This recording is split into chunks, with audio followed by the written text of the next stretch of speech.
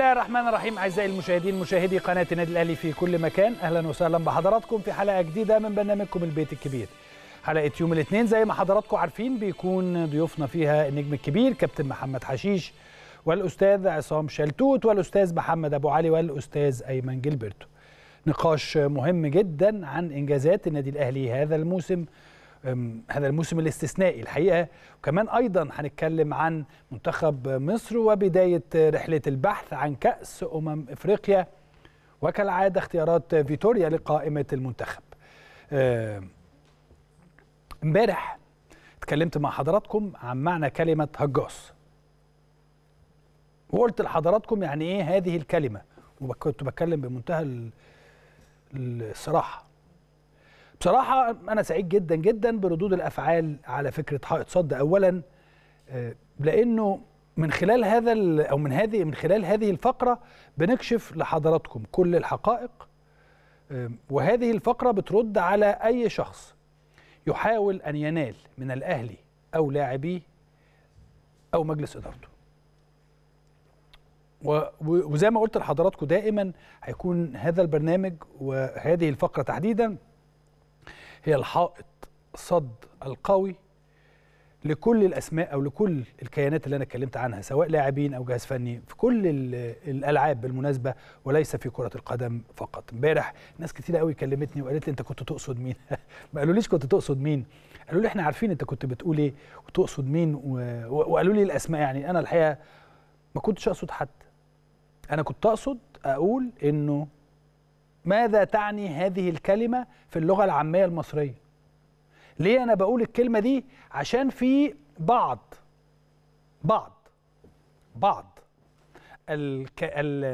البرامج بيطلعوا ناس هذه الكلمة ومعناها الحرفي والحقيقي الدقيق اللي من المعجم. عليهم بالظبط مش على حد واحد ولا لا لا لا. ده هم أربعة خمسة معروفين. هنتكلم عن جزء منهم النهاردة في الفقرة بتاعتنا حائط صد. ولكن أنا بتكلم دايما بشكل عام. عشان كده لما قلت يعني ماذا تعني كلمة هجاص؟ الناس كلها شاورت لي على واحد واثنين وثلاثة. رقم واحد كلنا عارفينه. رقم اثنين يعني 80 70 80% بس. رقم ثلاثة 60 70% بس اللي عارفينه. ولكن رقم واحد كله إجماع. هجاص يعني إجماع. هجاص أول ما تقول هجاص الإجماع على فلان معروف. فعشان كده أنا بقول لحضراتكم إنه أنا ما بتكلمش على حد أنا بتكلم بشكل عام. بشكل عام. خلينا نطلع نشوف فقرتنا الأولى فقرة حائط صد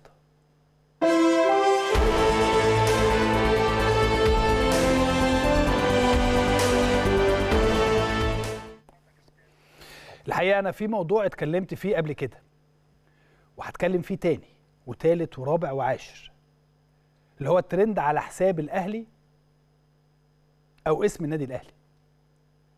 بعض اللاعبين السابقين عايزين يعملوا ترند تلاقيهم معروف عندما تتكلم وكل شوية بقول هذه الكلمة عندما تتكلم عن النادي الأهلي الناس كلها بتبص لك. يعني شوف الفيديوهات اللي بيتكلم فيها عن النادي الأهلي. والفيديوهات اللي بيتكلم عليها فلان ده عن نادي آخر عن نادي ثالث هتلاقي فيديوهات نادي الأهلي 20 ضعف الفيديوهات الثانية فالناس دي أو اللاعبين السابقين ما بيلعبوش في الأهلي طبعا اللاعبين السابقين دول تحديدا تلاقيهم اتكلموا عن الأهلي بإثارة عشان يتشافوا فيكونوا ترند. هم عايزين كده. رغم إنهم بيتهاجموا مثلا من كل جمهور النادي الأهلي لأن هم عارفين إن هم بيقولوا كلام كذب. على الرغم من ده أصبح أمر غريب إنك تقول غير الحقيقة عشان الناس تهاجمك وتبقى مبسوط.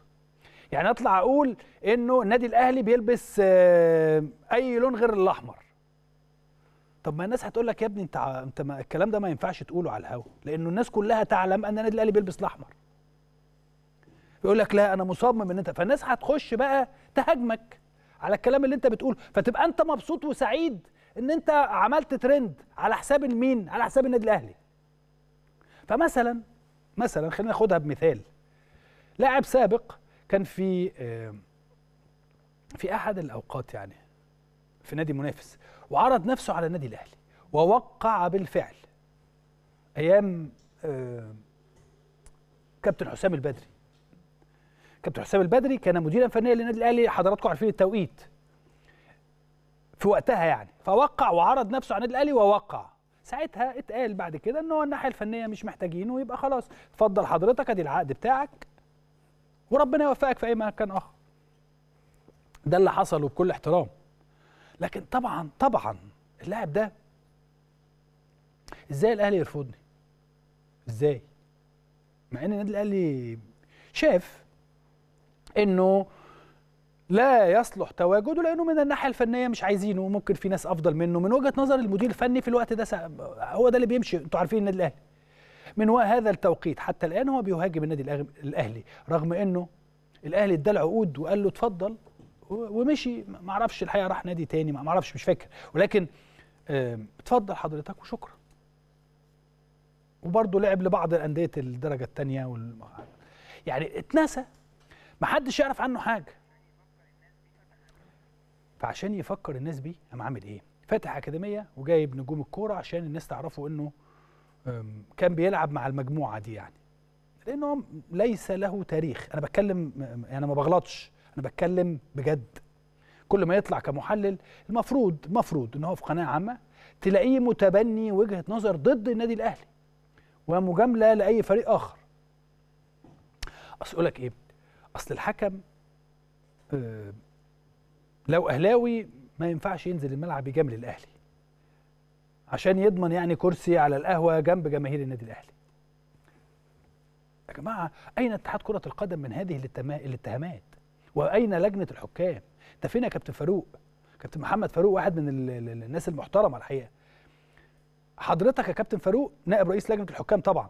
ده في اتهام للحكام بتوعك إنهم بيجاملوا عشان يقعدوا على القهوة مع جمهور الأهلي.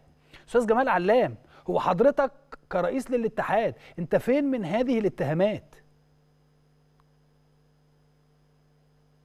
لو اللعيب ده انت شفته هو ومقدم هذا البرنامج اللي ما بيحبش النادي الأهلي طبعا واتفرجتوا على هذا البرنامج هتلاقي البرنامج ده معظمه انتقادات للأهلي.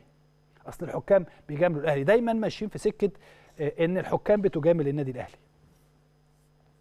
أصل اتحاد كرة القدم بيجامل النادي الأهلي. أصل لجنة المسابقات بتجامل النادي الأهلي في المواعيد. أنا الحقيقة مش عارف إزاي لكن ماشي. أدينا بنسمع. طب حضرتك الأهلي نفسي حد يقول لي هو الأهلي بيحصل معاه إيه؟ أزيد من أي نادي عندنا. غير إن النادي الأهلي هو ممثل مصر الوحيد في بطولات دولية. وده شيء وجهة نظري إن ده شيء لا يعيب النادي الأهلي بالعكس شيء مشرف. حضرتك كأهلاوي أو غير أهلاوي يجب أن تفتخر بهذا الأمر. اتحاد كرة القدم يجب أن يفتخر بهذا الأمر. كل الناس يجب أن تفتخر بهذا الأمر. ولا كان المفروض الأهلي يعتذر عن المشاركة في كأس العالم للأندية عشان حضراتكم تتبسطوا؟ كل ده عشان يلعب مبارياته في الدوري يعني بانتظام. طيب لما الفرق الأخرى لعبت مباراة أو مباراتين أو ثلاثة كل ثلاث أيام الناس كلها صرخت. وقالت الإجهاد والتعب ومش عارف إيه؟ واللعيبة بتوعنا اتصابوا ورجلين وخلفيات وأماميات وضمات والكلام اللطيف ده. فيجي البعض يقول لك هتقول لي بيقول لك إيه مثلا؟ أصل أوروبا. أوروبا ما فيهاش تأجيل. يا جماعة للأسف للأسف البعض اللي بيردد هذا الكلام فهو حافظ مش فاهم. هو إحنا فين وأوروبا فين؟ ظروفنا مختلفة عن أوروبا. وسائل المواصلات مختلفة عن أوروبا. قرب البلاد في أوروبا موضوع غير عندنا في أفريقيا. يعني لما تيجي حضرتك تسافر سيراليون مثلا فأنت بتسافر 8 9 ساعات تنزل في حتة وبعدين تاخد طيارة تانية 3 4 ساعات. حضرتك قاعد يوم أو نص يوم في طيارة وقاعد عامل كده كلاعب يعني. أنا هنا بتكلم كلاعب كرة قدم. قاعد عامل كده ومحتاج يومين علشان تفك الطيارة ال 12 ساعة. ده للناس بس لو قعد قاعد يفكر. لكن الناس بتتكلم أي كلام بتردد بغبغانات بتردد. فهل حضرتك سافرت قبل كده وشفت الكلام ده؟ ولا انت جاي تبقى ترند في أي حاجة وخلاص؟ كلام غريب جدا بشوفه على أعتقد إن الناس دي سافرت قبل كده في أفريقيا وعارفين جدا إن هناك فارق كبير جدا جدا جدا ما بين السفر داخل أفريقيا وما بين السفر في أوروبا. حضرتك مرة من المرات إحنا سافرنا بلد من البلاد الأفريقية وبناخد بلد من محافظة لمحافظة زي مثلا من القاهرة لإسكندرية. فخدنا طيارة لأنه كان خطر إن إحنا نمشي تحت يعني على الأرض.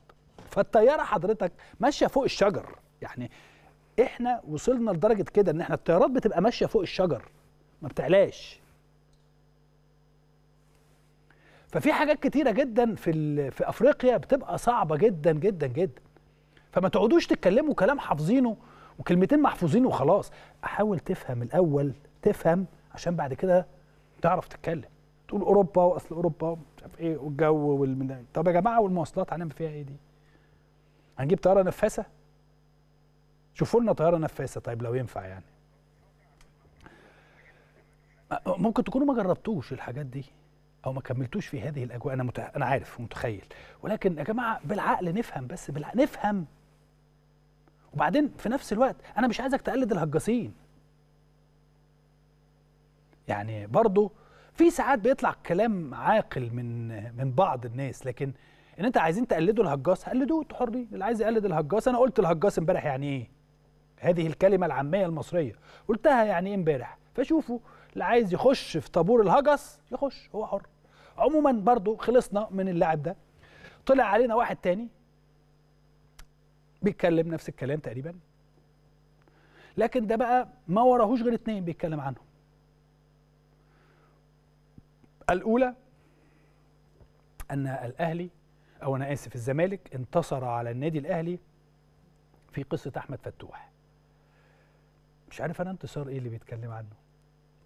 لاعب وجدد مع نادي الأهلي لم ولن يتحدث مع أي لاعب على الرغم من هو لو كان متاح كان كل حاجة كل شيء جايز ولكن النادي الأهلي لم يقترب من قريب أو من بعيد من أي حاجة. واحد لاعب بيلعب في نادي جدد مع النادي بتاعه. أنا مالي.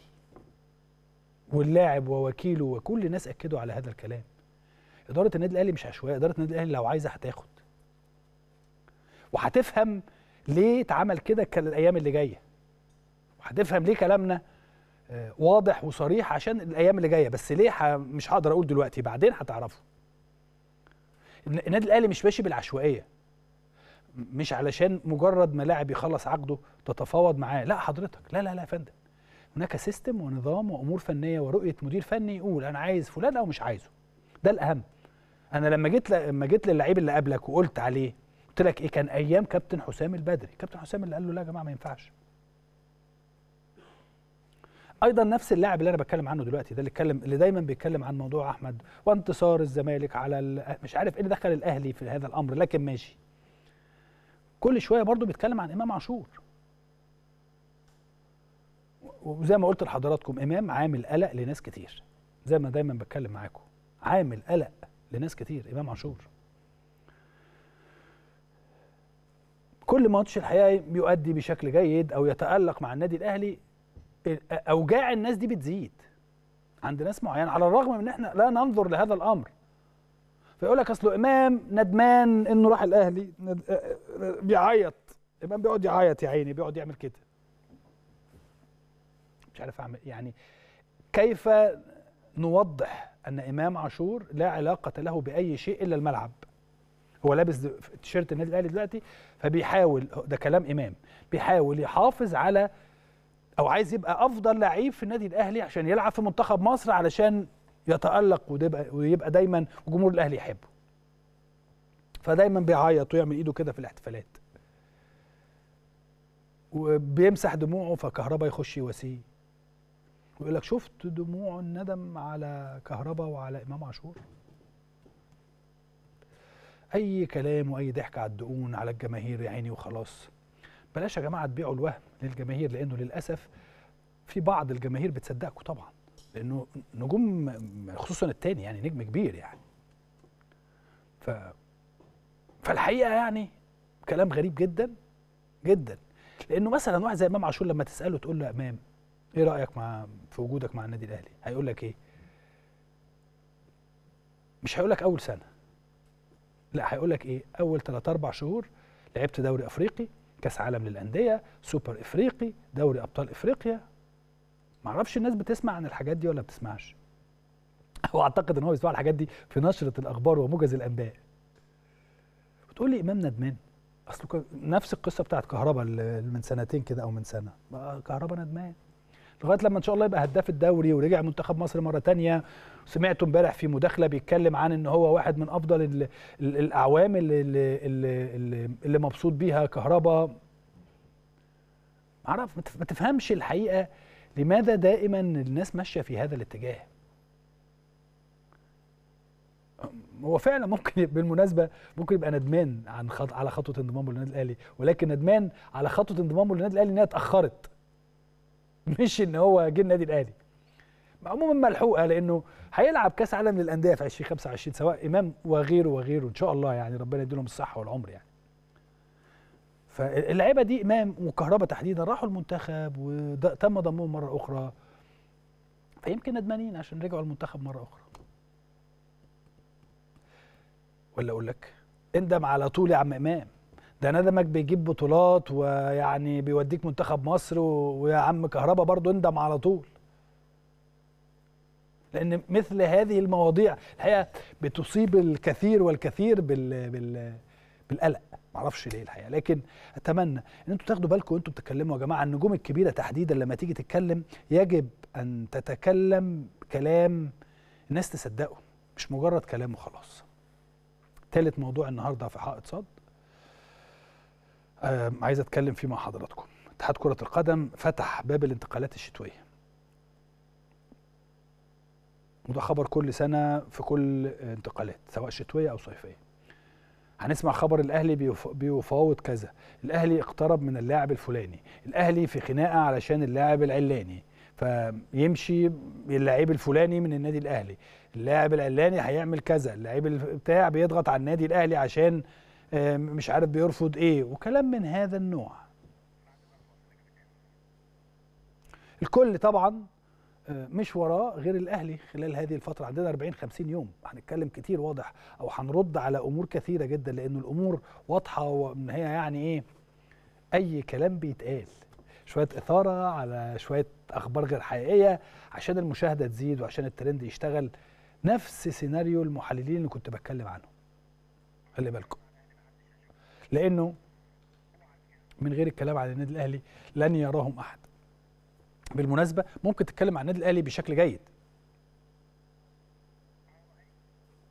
أو بموضوعية ممكن تنتقد تنتقد تنتقد أداء لعيب تنتقد أداء مدير فني ما عندناش أي مشكلة. ولكن بهذه بهذه الأخبار الغير صحيحة وبهذه الإشاعات الكاذبة لا الموضوع بيبقى مختلف تماما. إدارة النادي الأهلي برئاسة كابتن محمود الخطيب ولجنة التخطيط وشركة الكورة وكولر هم بس هم بس اللي عندهم معلومات مين هيمشي ومين هيجي. المفاوضات مع مين؟ عايز بس يعني طبعا نسيب الناس تشتغل وبلاش ولكن إحنا كجمهور بلاش ننساق ورا الأخبار اللي بتطلع كل موسم انتقالات. خلاص ساعة الجد جت ووقتها اليومين دول وبالتالي الجميع الجميع هيبص ويشوف اللي عندنا إيه ولو في جبنا لعيبة النادي الأهلي جاب لعيب أو هيمشي لعيب أعارة أو هيمشيه خالص هيطلع نقول لحضراتكم سواء من خلال قناة الأهلي أو من خلال المركز الإعلامي. لأنه الفترة القادمة الجميع سيلتف حول المنتخب الوطني. الجميع الجميع مهما كان انتمائك من أجل مهمة كروية قارية مهمة جدا جدا خلال الفترة الجاية بطولة الأمم الأفريقية. فعايزين نسي... عايزين نتكلم بقى عن المنتخب. مش عايزين كل شوية نقعد نتكلم عن أصل النادي الأهلي بيعمل كذا وبيخلي كذا و... يا جماعة الكلام ده غير صحيح. والكلام ده في كذب كتير صدقوني والإشاعات الأيام القادمة إشاعات ستبدو أو بدأت آه كثيرة جدا خلال هذه الفترة. فنتمنى يا رب إن إحنا نبقى واخدين بالنا من ال 40 50 اليوم اللي جايين دول اللي هم 40 50 يوم صعبين صعبين. لكن إن شاء الله يعدوا ويعدوا دايما على خير. خلونا نطلع فاصل وبعد هذا الفاصل بقى نرجع نكمل مع حضراتكم مرة أخرى.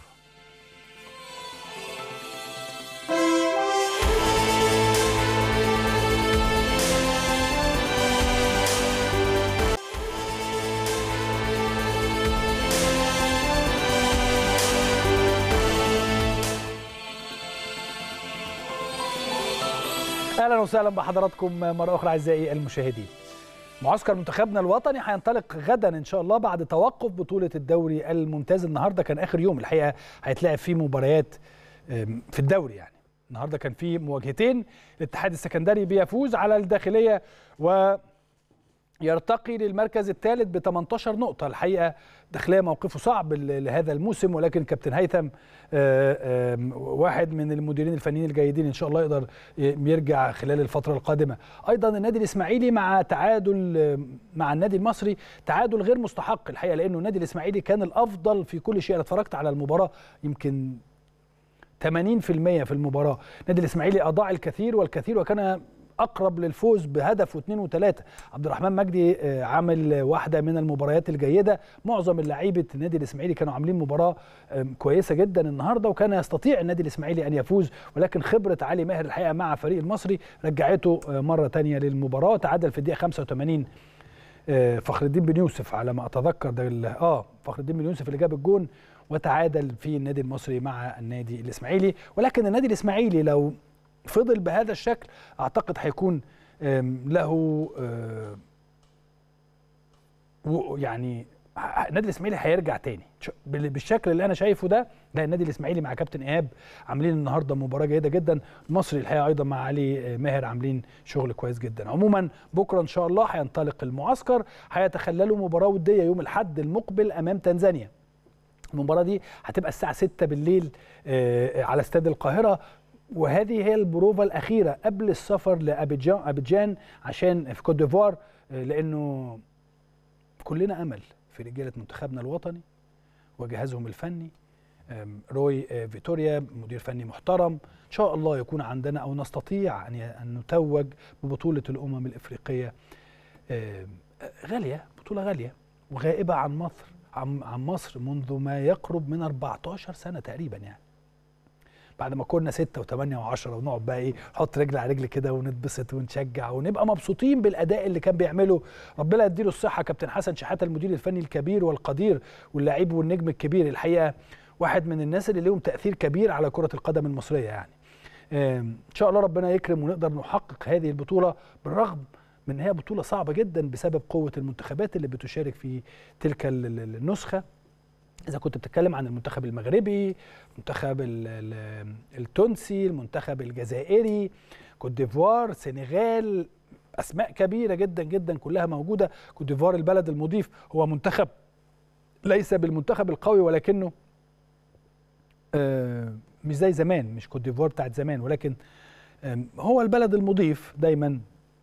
البلد المضيف بيبقى عنده حماس ورغبة إن هو يكسب هذه البطولة. ولكن على الجانب الآخر إن شاء الله رغبة وحماس لعيبه منتخبنا. في إن إحنا نقدر نسطر إنجاز تاريخي في مسيرتهم أو في مسيرة اللاعبين الدولية أكيد هيكون شيء جيد جدا ويكون هدف لا بديل عن تحقيقه وهو الفوز بهذه البطولة. قبل كل ده هو إسعاد 120 مليون مصري أو 110 مليون مصري.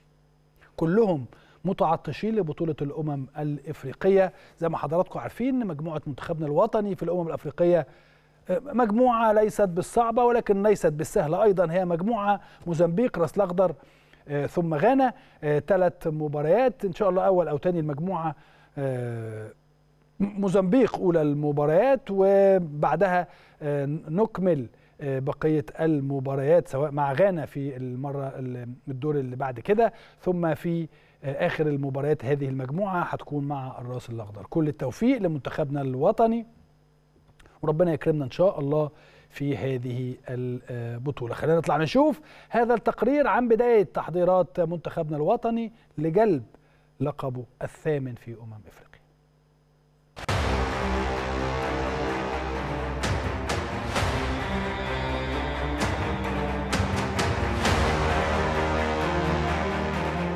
تحضيرا لاستعادة اللقب الغائب منذ 13 عاما وجلب اللقب الثامن عبر تاريخ البطولة.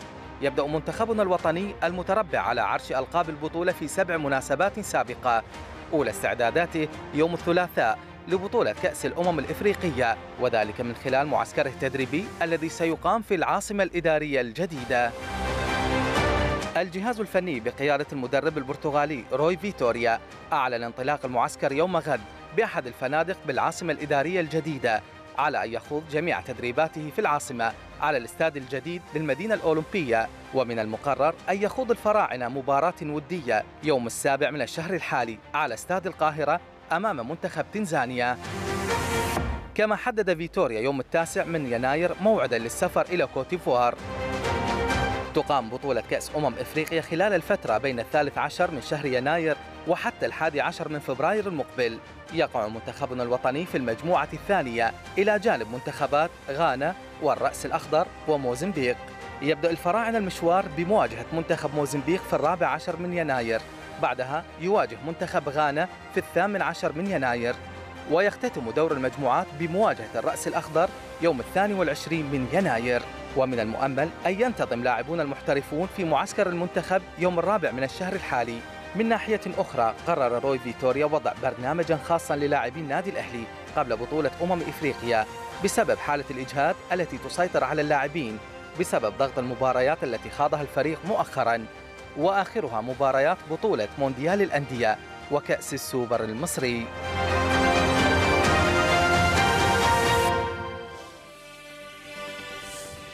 الحقيقة النهارده أيضا عيد ميلاد علي معلول. علي معلول واحد من اللاعبين الكبار. الحقيقة كل سنة وأنتم طيب يا علوة.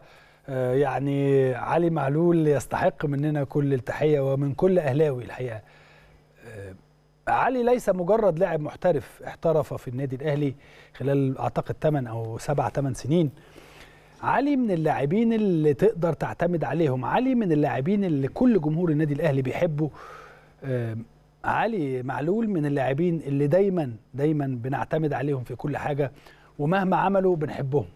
فعلي من المحترفين الأجانب الحقيقة اللي لا يعني اللي هيسيبوا أثر كبير جدا جدا جدا بعد ما يبطل بعد عمر طويل جدا إن شاء الله في آه، آه، النادي الأهلي. كل سنة وأنت طيب يا علي ودايما آه، تبقى دايما في وسط حبايبك وجماهيرك من جمهور النادي الأهلي. وصلنا دلوقتي لفقرة أخبار البيت الكبير. هنطلع نشوف تقرير نعرف آخر الأخبار على الساحة المحلية والعالمية. ومن بعد هذا التقرير فاصل ومن بعد الفاصل هنستقبل ضيوف البيت الكبير. توج فريق تنس الطاولة سيدات بالنادي الأهلي بلقب بطولة منطقة القاهرة بعد الفوز على فريق إم بي بنتيجة 3-0 في المباراة النهائية التي أقيمت على صالة النادي بفرع مدينة نصر. قدمت سيدات تنس الطاولة عروضا قوية للغاية حيث حقق الفريق الفوز على فريق الشمس والزهور والمعادي وإم بي بنتيجة واحدة 3-0 في المباريات الأربعة. افتتح اتحاد كرة القدم برئاسة جمال علام باب القيد الشتوي للأندية اليوم وحتى الحادي والثلاثين من يناير الجاري للسماح للأندية بتدعيم صفوفها بالصفقات لاستكمال الموسم الحالي الذي انطلق في سبتمبر الماضي. وطالب اتحاد الكرة جميع الأندية بتسوية مستحقاتها المتأخرة وسداد الديون للسماح لها بالقيد الشتوي بناء على تعليمات الاتحاد الدولي لكرة القدم. واصل منتخبنا الوطني لكرة القدم الشاطئية تدريباته اليومية خلال معسكره المقام حاليا بالإسكندرية استعدادا لخوض منافسات بطولة كأس العالم التي ستقام فبراير المقبل في الإمارات. أصبح نجمنا المصري محمد صلاح لاعب ليفربول الإنجليزي اللاعب الوحيد في الدوريات الأوروبية الخمسة الكبرى الذي يسجل أكثر من 15 هدفا ويقدم أكثر من 15 تمريرة حاسمة خلال عام 2023 كما أصبح أول لاعب يصل إلى 15 هدفا و15 تمريرة حاسمة في عام تقويمي واحد في الدوري الإنجليزي الممتاز. منذ أن قام الفرنسي تيري أونري أسطورة فريق أرسنال بالإنجاز ذاته في عام 2003 أنهى المنتخب الفلسطيني معسكره التدريبي الذي أقامه في مدينة أبها السعودية والذي استمر على مدار عشرة أيام ضمن فترة التحضير لبطولة كأس آسيا المقررة أن تنطلق في الثاني عشر من الشهر الحالي في الدوحة. ويلعب المنتخب الفلسطيني في البطولة القارية ضمن المجموعة الثالثة النارية التي تضم منتخبات الإمارات إيران وهونغ كونغ. أسدل الستار على منافسات كرة القدم في عام 2023 وكما هي العادة كانت المنافسة على أشدها بين اللاعبين تهديفية من أجل التربع على عرش هدافي التقويم. حقق كريستيانو رونالدو لقب هداف العالم 2023 بعد أن سجل 54 هدفا 44 مع النصر السعودي وعشرة أهداف مع منتخب البرتغال فيما حل ثانيا حامل اللقب كيليان مبابي مهاجم باريس سان جيرمان وثالثا هاري كين مهاجم بايرن ميونخ. بعد أن أحرز كل منهما 52 هدفا فيما جاء إيرلينغ هالاند لاعب مانشستر سيتي الإنجليزي في المركز الرابع برصيد 50 هدفا. اتخذ المسؤولون عن الكرة الأرجنتينية قرارا تاريخيا سيبدأ العمل به عقب اعتزال ميسي أيقونة بلاد التانجو الأبدية وأكد الاتحاد الأرجنتيني لكرة القدم أن القميص رقم عشرة سيحجب للأبد حال اعتزال ميسي اللاعب دوليا. ولن يسمح لأي لاعب بعده ارتداء القميص وسيلغى الرقم عشرة للأبد تكريما له على ما فعله مع منتخب بلاده. أعلن نادي باريس سان جيرمان الفرنسي عن تعاقده مع اللاعب البرازيلي الشاب لوكاس بيرالدو قادما من نادي ساو باولو بعقد يمتد حتى عام 2028 ورحب النادي الباريسي في بيان له على موقعه الرسمي بلاعبه الجديد صاحب العشرين عاما مشيرا إلى أنه سيحمل الرقم 35 خلال تجربته الاحترافية الأولى خارج الدوري البرازيلي.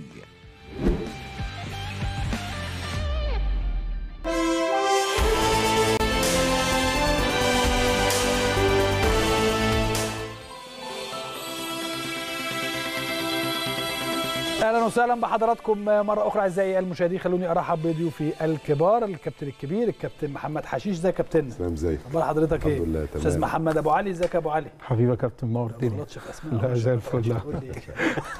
الكابتن أيمن جilberto إزيك يا كابتن كابتن أيمن؟ إسلام حسام طيب صديقي العزيز طبعا.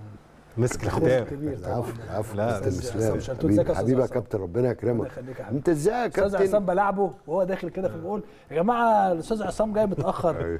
هو طبعا أنا شايفه. طبعا. ف- قلت له بقول لك يا أستاذ عصام بيقول لي يا كابتن لا. قلت له لا ده أنت تخش علينا وإحنا على الهوا يا راجل أيوه أنا عفوا الرجال اللي تعودنا الالتزام كالعادة طبعا. انت بتخش موجود الكابتن. حشيش. جاي محمد ما شاء الله وجilberto لكن أنت إزاي مشيت من الأولمبي بعد إذنك يعني. اتفضل. رحت الإسماعيلي رحت اتحاد جدة رحت نادي الزمالك وهناك بند يسمح لك غبت سنتين و... وكوبري بيقعد قد إيه يعني. الحقيقة صعب. مفيش كباري والله. هو لا الكوبري بيقعد قد إيه؟ أنا حاسبها أصلا. طريق دولي مش كابتن كابتن كابتن بركات اوسطي اوسطي ده أنت ممكن تكون رحت كأس العالم أنت ما هي من الفرقة بتاعتكم دي ما شاء الله. أيوة. ها؟ عشان تروح ترجعوا النادي الأهلي. آه، كابتن بركات. كابتن بركات راح أهلي جدة. راح آه، قطر. العربي القطري النادي. العظيم يعني العربي العربي والريان دول هم كل حاجة طبعا والجدد لكن دول الأساس أهلي وزمالك يعني وبالتالي يعود كابتن عماد النحاسي اللي حافي وقالوا له أنت عجزت آه بعد ما راح النصر ورجع إسماعيلية مش ممكن وبرضه لا زالت إدارة العامة للكباري بالفيفا شغالة لصالح الأهلي آه. والأهلي الفيفا مش قادر عليه ولا الكاف قادر عليه مش قادر عليه. خالص. هم بيقولوا كده مش إحنا يا وبعدين جماعة معلش وبعدين في ناس بتطلع بقى تروح مرفعة انفنتينو اقف يلا قول الأهلي كويس. إحنا لازم نشوف الأهلي في كل بطولة. يروح منزلين مسدس فانفنتينو يقول الكلمتين يجري. بقى إيه خلاص قال الكلام يقول لهم أنا أنا آسف أنا آسف أنا آسف يا جماعة. الأهلي فريق مش كويس. ممكن يا جماعة. مش ممكن يا جماعة والله. إدارة الموارد يا كابتن. في إدارة اسمها الموارد يا جماعة. في الفيفا عاملة كأس العالم للأندية. قال لك إدارة الموارد. والجمهور الجمهور أنا بقى بيصعب عليا الجمهور لأنه اللي بيبيع كلها إنه أنت أصل دلوقتي في أربع خمس كيانات وعلى مسؤوليتي معمولين ليه؟ ربما يكون الناس عايزة وقت لغاية ما تدور الماكينة البيضاء لكن أنت في نفس الوقت ما تبعتش الرسل علشان كل إخفاق تقول فيه النادي الأهلي ليه؟ لأنه أنت مش قادر تحصل. هو اين الإخفاق يا أستاذ. ده حد كمان قال لك إنه النادي بس هو أستاذ عصام مع مع كامل احترامي لحضرتك يعني أنا شايف ده حاجة كويسة للأهلي. للأهلي؟ آه. نسمع وجهة نظر ليه بقى؟ دي حاجة تزعل. طول ما آه. اللي طول هو ما اللي- اتزعل هي بيني وبينك. على جمهور. الزمالك هقول. لحضرتك حاجة. لا لا بص طول هو طول ما هيتزعل ليه؟ هقول لك ليه. عارف هيتزعل ليه؟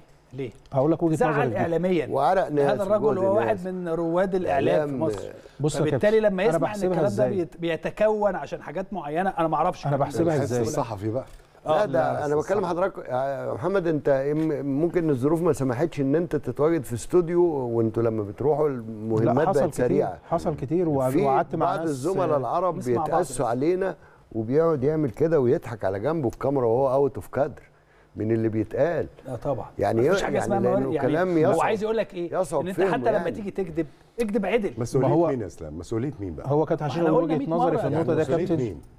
أنا لما بلاقي ال ال معلش قبل ما تكمل هي أصل الكلمة دي حلوة جدا مسؤولية مسؤولية مين؟ لا ما أصل دي يعني دي دي, دي بقى لها سنين. القصة دي مش مش مش نبع اليوم أو لا بس عايز أقول أو. الغد أو ده, ده بقى لها سنين نفس قلت الفكر ونفس يعني. ال... قلت جدا برضه يا أستاذ عصام. لا لا هي هي قلت على المستوى الرسمي. المستوى الرسمي. لا لا المستوى الرسمي لا، ده وضع عارف يا اتغير اسلام هي قلبت على موجة كوميدي. آه. يعني هي المفروض تبقى موجة يعني من كتر بقى ما الناس بتطلع تقول بتهرتل وبتقول أي حاجة فاتقلبت لضحك. بص يا يعني, يعني كان في بعض الأوقات الناس ممكن الناس بتصدق. أو ما تصدقش. هي دي المشكلة بقى. إنما دلوقتي الناس أيقنت إن الناس دي بتهرج. ده ضحك. يعني أنت يعني فاهم؟ أنا أنا بس السؤال يعني قول بس الأول كلام طيب أنا بقول ليه بالنسبة لي أنا كراجل أهلاوي أو آه، من بداية شغلي في الإعلام بتاع النادي الأهلي لما باجي أشوف المنافس بتاع النادي الأهلي النادي الأهلي عنده سيستم عنده إدارة نتكلم عن عنده الأهلي. عنده أنا هتكلم على الأهلي وفي نفس الوقت ليه في مصلحة الأهلي الكلام ده. عنده آه، فكر أو ناس زي ما الباشمهندس عادل القيعي مثلا طلع قال لك إحنا بنشتغل ل 2025 وبنوضب أو بنحضر فرقتنا لموسمين بعد كده فأنت شغال وبتبني وبتعمل آه، منظومة ومستقبل. بالظبط بتبني دلوقتي وبتحضر لبكرة وبتحضر لبعد بكرة وعلى الرغم إن أنت وبتفكر تبقاش موجود في بكرة وبعد بكرة بالظبط، خلي بالك صحيح الإعلام بتاعك مش أنت يعني اللي هو الإعلام. بتاعك ك كمنظومة أهلاوية بيشتغل على الحتة دي وبيساعدك إن أنت تبني عن طريق بقى إن أنت لو شفت حاجة غلط بتقولها عن طريق إن أنت بتقاوم دايما عن طريق إن أنت بتقول لجمهورك في الحقيقة حاجة عندنا عن طريق. فبتلاقي المنافسين بتوعك بقى اللي هم في في ال- على المستوى المحلي ده فكرهم أو ده الفكر أو أنا الإعلام. مالي. مش أنا مالي. أنت كده بضامن إن أنت شغال في حتة تانية خالص. أنت كده بعيد مش بسنين. ضوئية. أنا عكسك بقى في ده. ما أنا أنا بقى أنا أقول لك لنفسي. لا هو مش هيشتغل. هو هيفضل هو هيفضل يحط مبررات مش هيشتغل.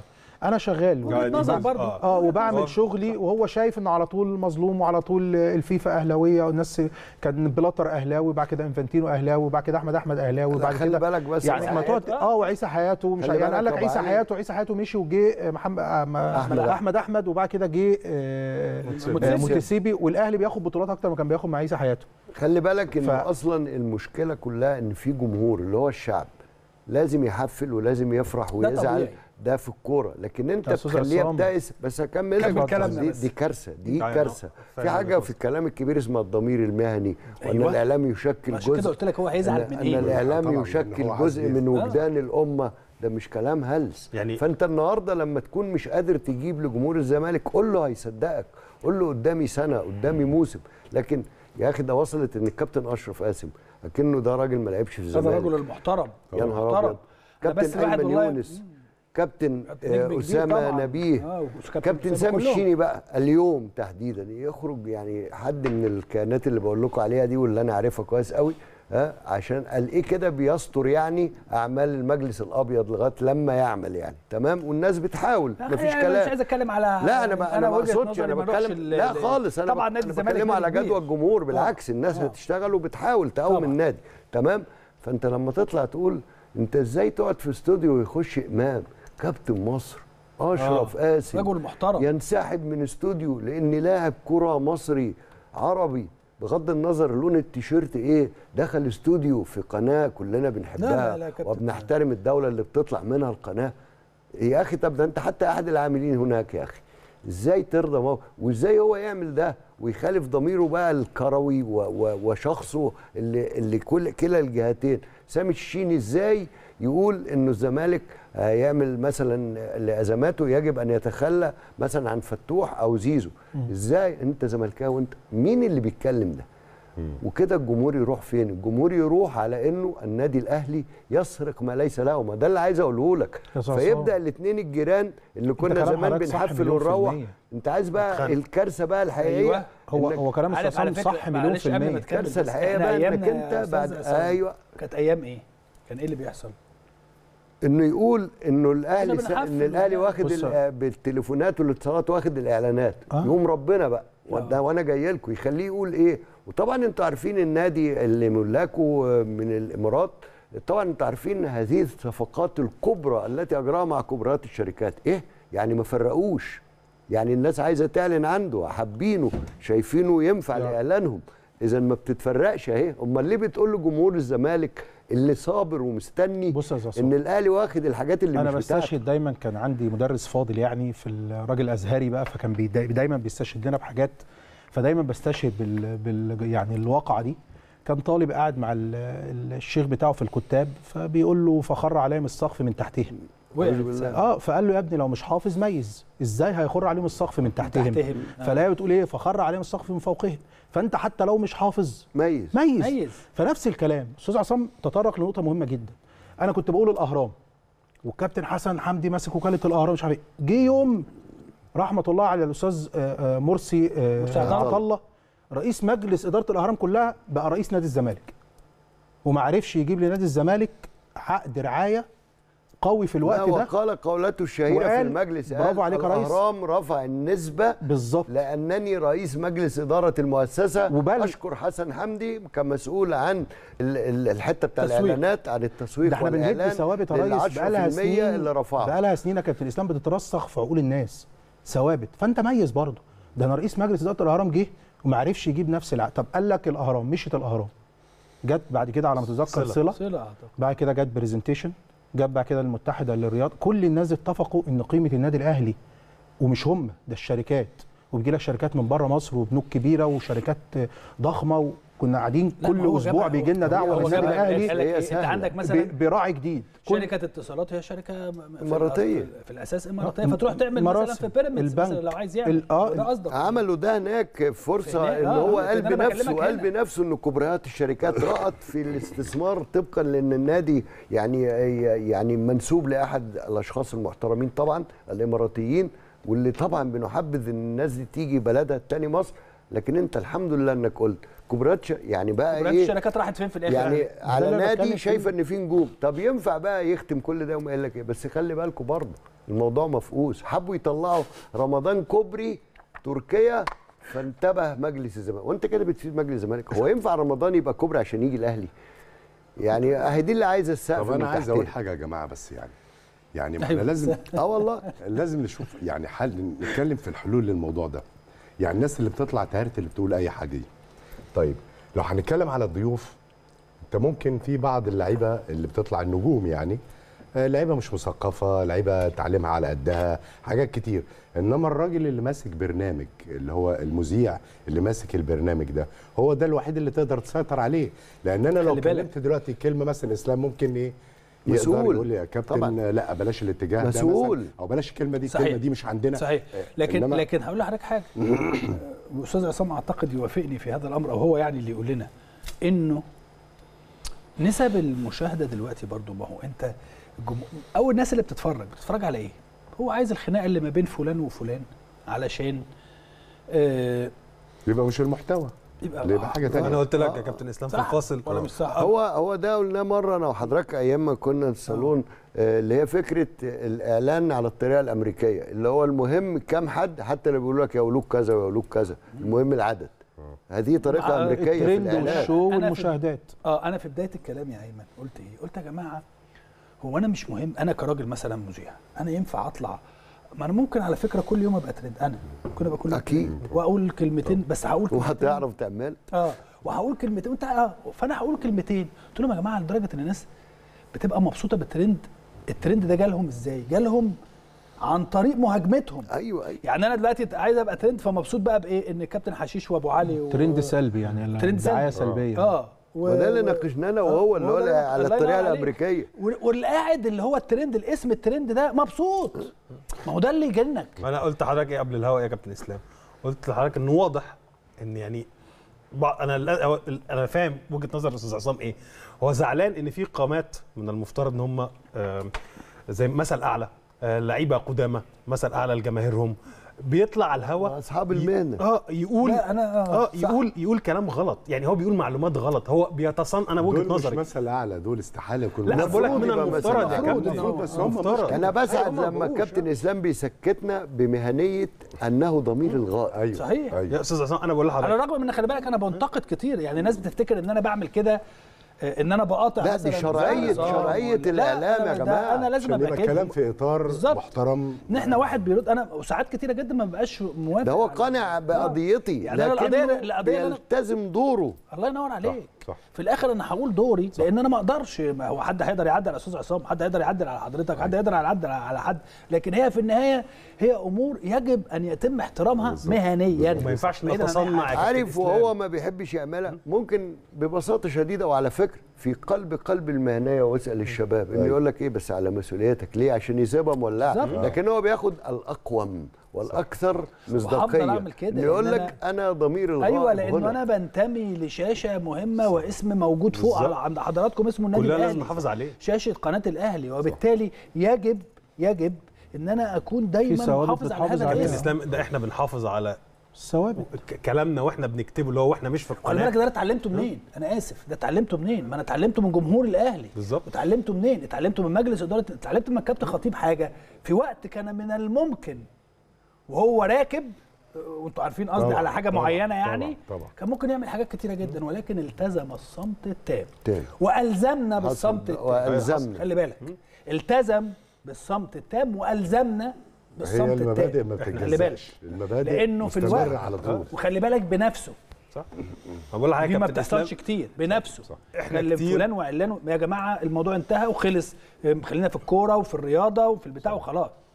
إحنا كتير وإحنا حتى بنكتب مثلا على ال social media بتاعتنا أو حاجة إحنا عايز بنرد بأسامينا في الآخر وأنت على ال social media بتاعتك ده مكانك بس إحنا ساعات بناخد بالنا إن ما نأفورش في في نقد معين أو رد معين أو سخرية معينة ليه؟ لأنه في الآخر هو يقول أيمن جلباب ما ده بتاع قناة الأهلي ما أنا ما أقدرش إن أنا لما طالما اسمي ارتبط بقناة النادي الأهلي ما ينفعش إن أنا الناس. ما ينفعش إن أنا ده إن الناس تشت يعني تشتم القناه مثلا اسم أو قناة النادي الأهلي عشان خاطر أنا أطلع آه منسوبيها. أطلع أتصنع الترند عشان خاطر أتشهر. لا أنا أقول لو عايز أرد على حد أرد عليه بأدب أرد عليه بمعلومة أرد عليه برقم. كده. حتى لو هحفل يبقى التحفيل ليه نسبة معينة ما تتاخدش عليا. ما اشتمش لكن ال- الواضح دلوقتي الفيديوهات اللي بتطلع على ال social media الواحد كده بيتفرج والعناوين بتاعتها ده بالنسبة يعني من خلال خبرتي القليلة في هذا المجال ده تصنع أكتر منه. إن هو بيبين الضيف ده بيبقى مطلوب أكتر. آه ليه؟ أيوه بالظبط كده. لأن هو عارف إن هو لو ما تصنعش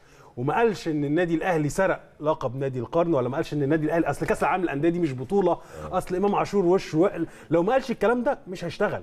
ليه؟ لأن هو ما عندوش رصيد. ولكن ولكن عندما يتم النظر لمثل هذه الأمور بشخص بطريقة أخرى بمعنى انه أنا لما أجي حتى اتكلم على معلومات واضحة للناس يعني الكلام اللي انت بتقوله ده اصل مش- مش نادي القرن هو هو بالنسبة لنا كأهلاوية هو لا مجال, مجال ان أنا. أتكلم فيه. مش مجال مش للرد. مجال إن أنا أرد أساسا فبس يعني قول زي ما أنت عايز.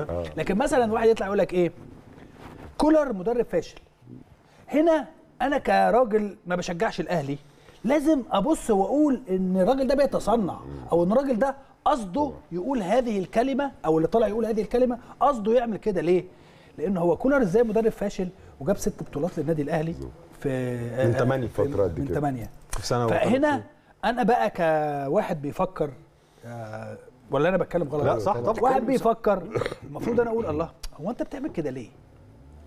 آه، زي بعض الهجاصين يقول لك إيه؟ أنا إمبارح جبت بجد أنا مش بهزر أنا جبت معنى كلمة هجاص في اللغة العاميه العربية. المصرية.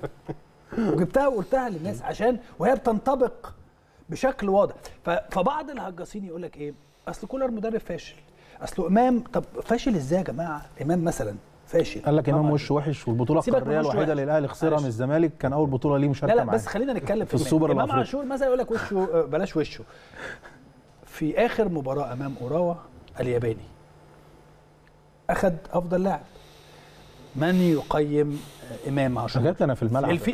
خلينا نتكلم في بس الملعب منطقي. بتتكلم على إمام إن ما شاء الله ربنا يحميه يعني إيه اللعيب اللي بيجري في كل حتة في الملعب ده حلو جدا في لجنة ولكن أنا آه. دلوقتي أنا ده اللي أنا عايز أوصل له أيوة. إن أنا واحد ده مش لجنة بس ده الناس كلها قاعدة كل اللي قاعد بيتكلم ما شاء الله على امام لحد آخر برضه ده مش فارق معايا آه، كل دول أهلاوية؟ آه مين اللي بيقيس. لا يا سيدي. أهلاوية يا آه. عم مفيش مشكلة ما عنديش مشكله هقول لك أهلاوية ابننا ولكن وشايفينه كويس ابننا. وشايفينه كويس لا السعوديين كمان بيتكلموا حبيبي هو عنهم ما هو آه. الكابتن بيقول لك. لجنة محايدة من الفيفا. من الفيفا. طلعت. امام دي ما عاشور بتشتغلش حاجة إلا. الشغلانة هيقول دي لك أهلاوية برضه. فيفا. آه، آه، آه، لا، كابتن فعلاً. اسلام أستاذ عصام قال لك ما بتشتغلش. آه، يا صح، كابتن. ده بيقول لك القاضي الواحد من غانا كان في محكمة الكاس. أنا قلت لهم ما أعرفش هو قال لي مين وللأسف إن حد بيسمح إنه يتكلم باسمه. حد كبير قوي. وأنا قلت له روح لأن القاضي ده قافش القاضي بتاع الكاس قافش ناقص يقول إن في عرض حلج بيقف قدام أقول لك أقول لك معلومة. بخصوص القاضي دي؟ بص بس عشان تشيل معايا ال- الهم أنت وجilberto ده أنا هقول لك معلومة آه، مهمة. طب اسمع قبل ما عشان اعرفك الناس ما عندهاش. فكرة. عشان دي بس مهمة. آه. إحنا بنتهان على ضوء ده. لما واحد يقول لك أنت لا صحفي وأنت ماشي ما تزعلش.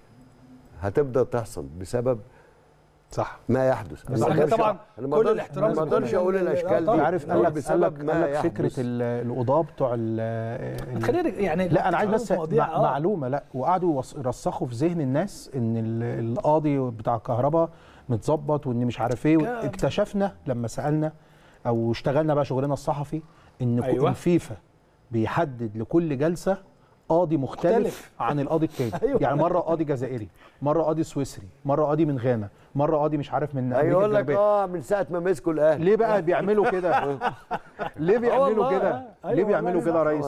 عشان درءا للشبهات يقول لك لما القاضي ده. بيتحدد له الجلسة دي بياخد الملف يشتغل عليه ويقراه ويحدد بقى هو بعيد عن القاضي اللي خد حكم قبل كده أو اللي عشان لو في حتى بص يا علي، عشان كابتن في عشان- ثلاث إجراءات. عشان نقفل كمان. الموضوع ده يا كابتن عصام أنا أقول لحضرتك حاجة. افتكر كده وقت الكابتن عصام الحضري لما رحل عن النادي الأهلي بطريقة ما والكابتن عصام رفع القضية بتاعته والنادي الأهلي رفع القضية وشوف التناول اللي حصل وقتها للقضايا دي والكاميرات اللي كانت بتسافر تحضر القضايا والقضية قعدت كام سنة لحد ما اتحكم للنادي الأهلي سواء بالتعويض. أو بالكابتن عصام وقتها الإيقاف أو نادي السويسري. هنروح؟ وقارنوا وقارنوا لشبونة قضيه كهرباء صحيح بس صحيح. فعشان نقفل هو القصة دي كلام يعني. مهم جدا الحقيقة يعني إحنا ما سألناش لكن هي النقاش. لا. اصل أنا جاي مفحم بيها أستاذ لأنه عصام دخلنا على طول في. ثلاث ثلاث نجوم كبار مصريين قبل ما يبقوا زملكاوية نجوم كبار.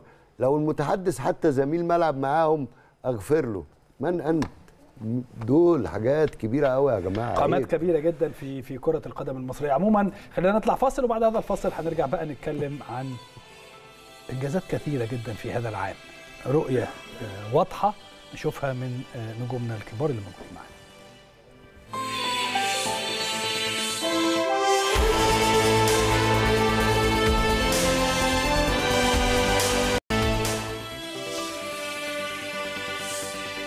أهلا وسهلا بحضراتكم مره أخرى اعزائي المشاهدين. كابتن حشيش انجازات رياضيه كبيره جدا للنادي الاهلي طوال هذا الموسم. اعتقد آه، مش كره القدم بس ولكن في كل الالعاب.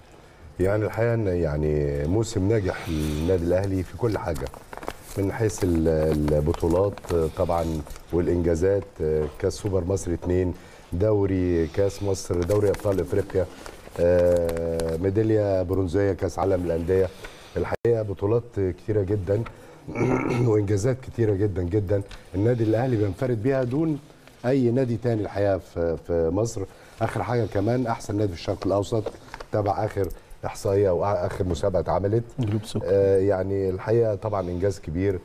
آه، يعني بالنسبة للنادي الأهلي كنادي أهلي ككيان كمان كرة الصالات كمان واخدة حيز كبير جدا من البطولات سواء سلة طايرة العاب الصالات العاب آه. الصالات يعني كتيرة جدا على مستوى الإنشاءات كمان إحنا شفنا ال- الفخر بتاع يعني فرع تجمع. الشيخ آه، التجمع الجديد. وصالة يعني. حاجة آه دي ده سلام 54 حاجة كده كابتن، أوضة 2 متر في وصالة. 3 متر يعني طبعا إنجاز كبير جدا على المستوى الإنشاءات كنادي اجتماعي ونادي رياضي يعني ما شاء الله إحنا بنحيي طبعا يعني مجلس إدارة النادي الأهلي كابتن محمود الخطيب على الإنجازات الكبيرة اللي خلال السنة ونتمنى إن شاء الله إن هي تدوم خلال السنين اللي جاية بإذن الله. أبو علي.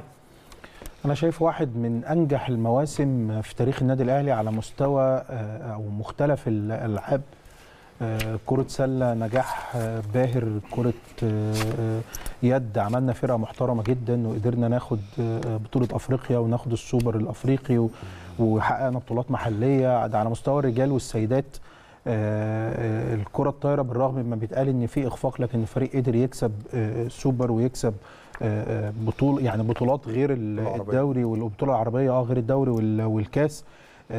فرقة الكرة بقى حدث ولا حرج. يعني أنت السنة اللي فاتت آه، مفيش بطولة دخلناها خسرناها إلا جينا في آخر شهرين يمكن السوبر الأفريقي.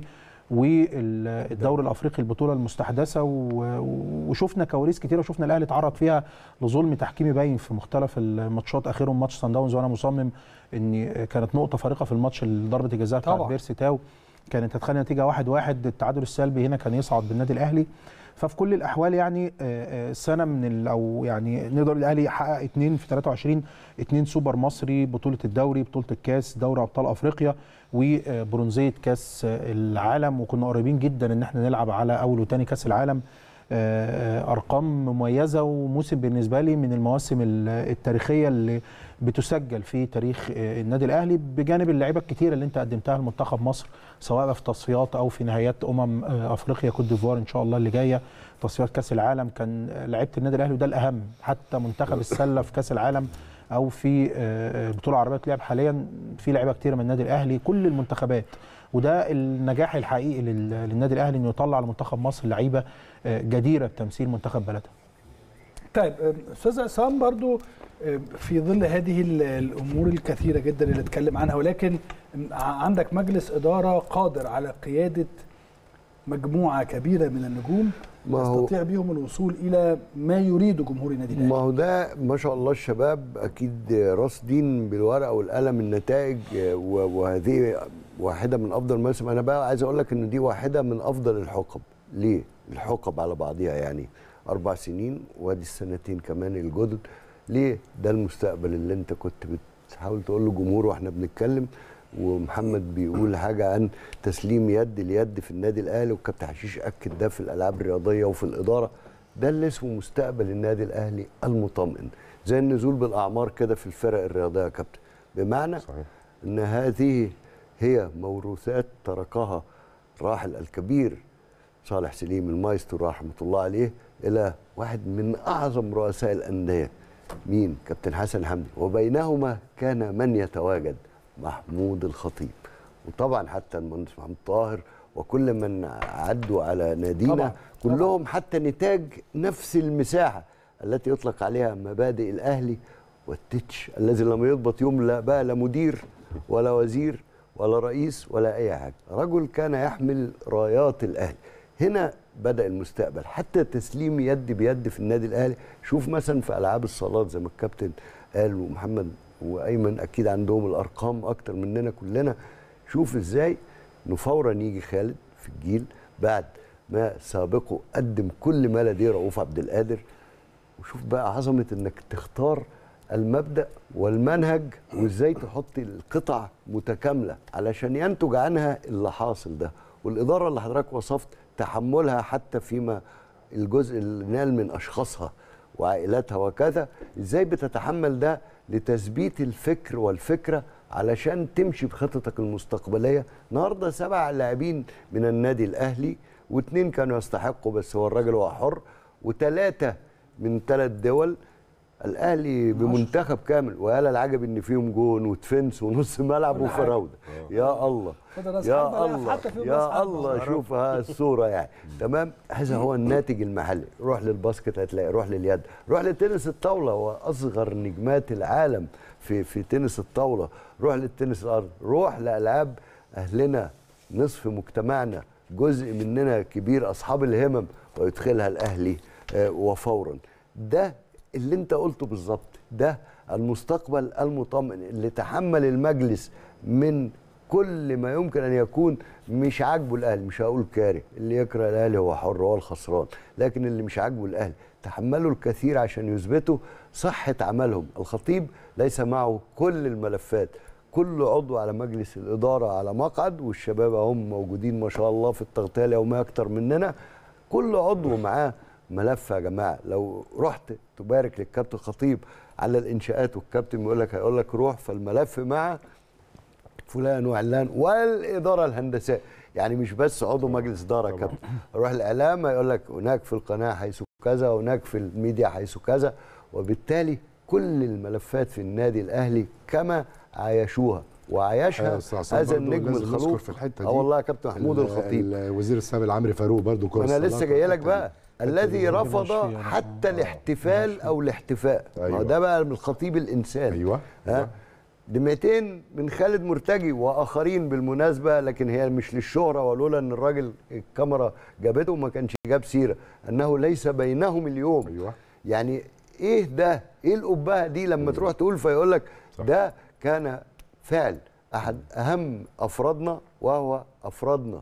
مننا إخواتنا مش عشان نائب الرئيس خالص صحيح. لغاية العاملين اللي بيساعدوا من أصحاب يعني المهمات والحاجات دي صحيح. حتى دول بيكرموا في يوم احتفاء الاهلي مثلا في فرع التجمع الخامس لا ويذكر للقناة أن إدارتها والتزام واحد زي إسلام ايهاب الزملاء المخرجين وكذا المركز الاعلامي جمال والذين معه حتى فكرة التعديل وردة كلنا بنتكلم معاهم في كل حاجة من أحدث مواليد الإعلام مثلا لو قلنا على الميديا بيجي ويطرح رأيه والرأي الآخر وما يمشيش إلا وهو إما مقتنع أو يقنع أيوه. من أمامه. يا جماعة دي المنظومة اللي محدش يعرف يعملها لأنها ما هياش أكتر من موروث. واحد اشتغل لعيب كورة وهو الأهم والأشهر مهارة لكنه ما بيحكيش في الكورة زي اللي بيقول أنا محللات يا ناس. تمام؟ ثم مديرا لفريق نادي أو منتخب. ثم حين لا ينتج في منتخب مصر يدفع 57 ألف جنيه أيام الجنيهات الجبس في سيارة رحمة الله عليه حاج تيسير الهواري في سيارة الحاج تيسير الهواري ثم يتدرج مش بقى البيبو والذي كان يحب ويشعر به الكابتن صالح سليم رحمة الله والكابتن حسن أحد أهم المكتشفين اللي كان على طول بيكون هنا عند الكابتن مايسترو صالح سليم عشان يقول له عندنا كذا رحمة الله عليه وربنا يدي الكابتن حسن ها إنه يتدرج عضوا فكذا فنائب فأمين للأول التنفيذي. المكتب التنفيذي كمان اللي هو مطبخ الحكاية صحيح. صحيح. ومع هذا لا يؤمن بلغة الفرد صحيح عايز حد بقى من الإخوة دول يبقى مبسوط بالنادي الأهلي هيتبسط إزاي؟ بس ما ي... ما يجيش على الناس الطيبة الجمهور الأبيض اللي بيتقال له ده لمجرد الهائه بيصعبوا عليا والله. وده اسمه النادي الأهلي لمن لا يعرف بالأمانة يعني. بمناسبة الكلام على الناس دي أنت عرفت امبارح يعني إيه كلمة هجاص معناها إيه؟ بجد والله. لا أنا عايزك تعادل لأن أنا يعني كنت مش قادر أمسك نفسي. تفسيرها هاتوا لي يا جماعة بعد إذنكم. أرجوك يعني. معلش. أنا برضو. مواطن ومن حق أشوف. لا وهوريكم. هقول لكم برضو يعني إيه مدى تعني هذه الكلمة؟ والله العظيم لما تقرأ الكلام والمعنى ها؟ ربنا يديك طول العمر. سعيد صالح زمان. يقول لك هاتوا الزمخشري. آه هو الزمخشري. أنا جبت الزمخشري. لا أنا هجيبها لكم. بصوا والله أنا هجيبها لكم دلوقتي. لأن هم الحقيقة يعني هي آه، آه، بص يا أستاذ عصام طب يا أيمن ما تحاول أنت تح... يعني تقول لنا على بعض الأرقام الخاصة آه، بهذا ماشي. الموسم لغاية لما أنا أطلع بس آه لأنه الموسم هذا الموسم الحقيقة تاريخي. موسم من تاريخي. المواسم التاريخية وال... والكبيرة جدا جدا. هنفضل نتكلم عليه لسنوات طويلة جدا. آه، طبعا. لا أرقام ع- كثيرة يعني. عام إحنا بنتكلم كمان بنختص العام. يعني حتى الموسم خلاص الموسم خلص وإحنا في موسم جديد. لكن معلش، بنختص أقولها لا بسرعة. أقولها على طول يلا. آه، آه، دي شغلات اهم هي. الصراحة. ما ابو علي ملوش حل قال لك واحد من المواسم برضه ما نسيش المواسم. هي لفظة عامية. آه طبعا. يستخدمها المصريين لوصف الشخص الذي يتكلم كثيرا. كثيرا. ويكون كلامه كثيرا وفارغا ولا معنى له. ويكون كلامه كثيرا فارغا ولا معنى له. ولا سبيل إلى تطبيقه أو تحويله إلى إنجاز ملموس على أرض الواقع. وللكلمة أصل في التراث المصري يعود إلى اللغة المصرية القديمة. ولها مرادف في اللغة الإنجليزية يعني اللي هو الخدعة أو الكذب الضاحك أو الكذب الساذج. ساذج. هذا هو أنا المعنى سمعتك امبارح بس هو حصلت المعنى. الجزء بتاع الكذب الساذج دي فدي يعني اثارت فضولي إيه؟ ما هو كذب ساذج فعلا. آه، الك... ما أنا بقول لحضرتك ده المعنى ينطبق حرفيا بالظبط. حرفيا. والله ما أيوة. بهزر سبحان الله. يعني أنا أول ما أقول الكلمة دي واقول مين؟ أنت عارف وده كلنا عارفين مين ال- الناس اللي بتعمل هذا الكلام. اتفضل قول لنا الأرقام يا أيمن لو سمحت هي الأرقام. نرجع للأرقام تاني. الأرقام لا تكذب ولا تخدع. آه، ولا تتكلم. ولا ولا. تهجس. أيوه ولا, تهجس. الأرقام ما حاجة. الأرقام بترصد واقع وحقائق آه. عام 2023 آه. عام تاريخي للنادي الأهلي. آه. طبعا النادي الأهلي على مدار أكتر من 100 سنة عنده مواسم كتير جيدة. آه. ده عام منهم اللي هو اللي إحنا 23 نستعرض كده أرقام النادي الأهلي في ورينا عام كده يا سمير لو 2023 نتكلم في 68 مباراة. الفوز 45 تعادل 15 مباراة. خسارة في 8 مباريات. بتتكلم في سنة كاملة. خسرنا 8 مباريات مختلف البطولات. مختلف البطولات الثمان خسائر دول في ناس بتطلع تقول إن الأهلي انهار والأهلي وقع والأهلي آه، صحيح. هيتقفل و- ومشوا اللعيبة ومشوا المدرب. والإدارة آه في ثمان خسائر في عام في ناس بتخسرهم في أسبوع أو في ناس تخسرهم في موسم يعني أو في, في, في شهر يعني ما علينا. النادي الأهلي سجل 128 واستقبل 51 وطلع بالكلين شيت 39 مباراة. دي أرقام النادي الأهلي في العام ما بنقولش برضو يعني نوضح للناس لأن ممكن يقول لك طب الموسم ده أمر مختلف يعني. ففي في العام النادي الأهلي في العام الحالي زي ما أبو علي كده قال عملنا خمس بطولات من ثمانيه شاركنا فيه أو آه لا الستة دي البطولة كانت هنعتبرها في العام اللي فات. الجديد في بطولة سوبر في بطولة بتاعت سوبر بتاعت الزمالك دي 22 ما اللي لخبطونا يا 2 جماعة. أنا مش لا لا مش قصدي يا كابتن. لا لخبطونا. آه ما إحنا عشان لا إيه؟ مش حضرتك أنا بتكلم لا لا على إحنا بنبص 22 للناس. 23 لا لا لا إحنا بنتكلم عام. هو 23 أنت خدنا خمس بطولات. 23 خمس بطولات. 23 22 دي بطولة السوبر. اللي هي بتاعت الزمالك دي كانت في تبع يعني لما نيجي اللي تبع نقول- واحد تبع 22 تبع 22 آه فإحنا بنقولها إيه؟ عشان في كاس قديم وكاس جديد. إحنا بنحسبها الكولر. آه. لكن في السنة بن... لا وفي السنة الكولر خمسة. لكن كاجمالي بطولات كولر مع النادي الأهلي ستة. تمام؟ إحنا طبعا. إيه؟ ما زلت مصمم- إنجاز. وإنجاز عشان الناس ما حدش يزعل. البرونزية مش بطولة. البرونزية إنجاز. خلاص اهي سهلة أهي وبسيطة. البرونزية يا كابتن لا، إسلام لأن إنجاز. هناك فرق واضح. آه البرونزية إنجاز. عشان أصل شوف لنا ليها معنى برضه. الناس بتزعم يعني ما أعرفش ليه لما نقول إن النادي الأهلي خد ميدالية برونزية في كأس العالم للأندية الناس بتزعل. ليه لما بنقول النادي الأهلي مركز ثالث؟ عالم الناس بتزعل. يا جماعة هو مسمى البطولة. البطولة اسم. البطوله كده. فيفا Club World Cup. أنا ماليش دعوة. الفيفا هو اللي مسميها. مش أنا. مش جمهور الأهلي. فالنادي هو الأهلي الفيفا قال لك هو آه، سمى يا جماعة الراجل آه. بيبقى أصلا مش ثبت إذا كان أنت أصلا بال- ال- آه آه. جايبين بتاع كده مسدس بتاع كاف مش فيفا. سميهم كده عشان لا- عشان يقول على طول. الناس حتى أصلا يعني المان سيتي طبعا حضراتكم عارفين. اللوجو بتاع البطولة. اللوجو بتاع البطولة. وريال مدريد ريال مدريد. أما خده حط اللوجو لأنه شاله انه خلاص ما ما بقاش بقاش البطل. بالله عليكم يا جماعة. يا جماعة جمهوركم يستحق أحسن من كده. لما تقول لي على واحد عالمي عشان لعب النهائي مرة. تقول إيه للي راح تسع مرات؟ كل مرة بيدغدغ كل اللي بيلعبهم في القر... كرويا يعني. وبيدغدغ اللي دغدغ اللي في القارة اللي جنبينا. وبيدغدغ اللي دغدغ اللي في القارتين على بعض. ثم يذهب ضمن أربعة دغدغوا الباقيين فيعملوا بتاع كده ثلاث حتت يقفوا ويجي الراجل إنفنتينو حتى لو مترفع بالبتاع زي أفلام زمان يروح قايل إن دول أنت عارف أهم مين اللي كان مرفعه؟ حد لابس طاقية لخت طبعا ما هيظهر إزاي. ما عارف لو مش. الأهلي كان ظهر بقى الراجل صحيح. لكن لا. الأهلي جايبين له طاقية لخفة يا عم. الأهلي الاتصالات بمصانع طواقي لخفة فهو ده يا عام. عام عام يجب على جمهور الأهلي إن هي معلش يا جماعة. أعذرونا والله لأنه اللي بنسمعه كتير كتير آه يعني وإحنا على قد ما بنقدر بنرد يعني بنحاول ما يعني يعني قد ما آه نقدر فهي الفكرة كلها إن لأ إن النادي الأهلي فخر الصناعة المصرية النادي الأهلي قوة من قوة مصر الناعم. آه النادي الأهلي يستحق هذه المكانة لأن النادي الأهلي بيتعب مع احترامي. ما حدش يعني ما حدش بيدي النادي الأهلي أكتر من حقه. النادي الأهلي النهارده بيصرف على زي أبو علي وكابتن محمد حشيش والكابتن آه، واستاذنا أستاذ عصام صيام بيتكلموا وحضرتك في البرامج وقناة. بنتكلم على إنجازات في الصالات ألعاب الصالات لعيبة رايحة منتخب. النهارده آه، عندنا أعتقد لاعب عم- عمرو زهران. اسمه عمرو. زهران إصابة رباط صليبي النهارده هو من في, في, في بطولة يعني- آه مع المنتخب. النهارده تعرض لإصابة رباط صليبي هيغيب مين اللي هيت- هيعالجه مثلا وي- ويأهله وي- النادي الأهلي؟ النادي الأهلي بيعد لعيبة لل- للبطولات الدولية. بيصرف على ألعاب قد كده.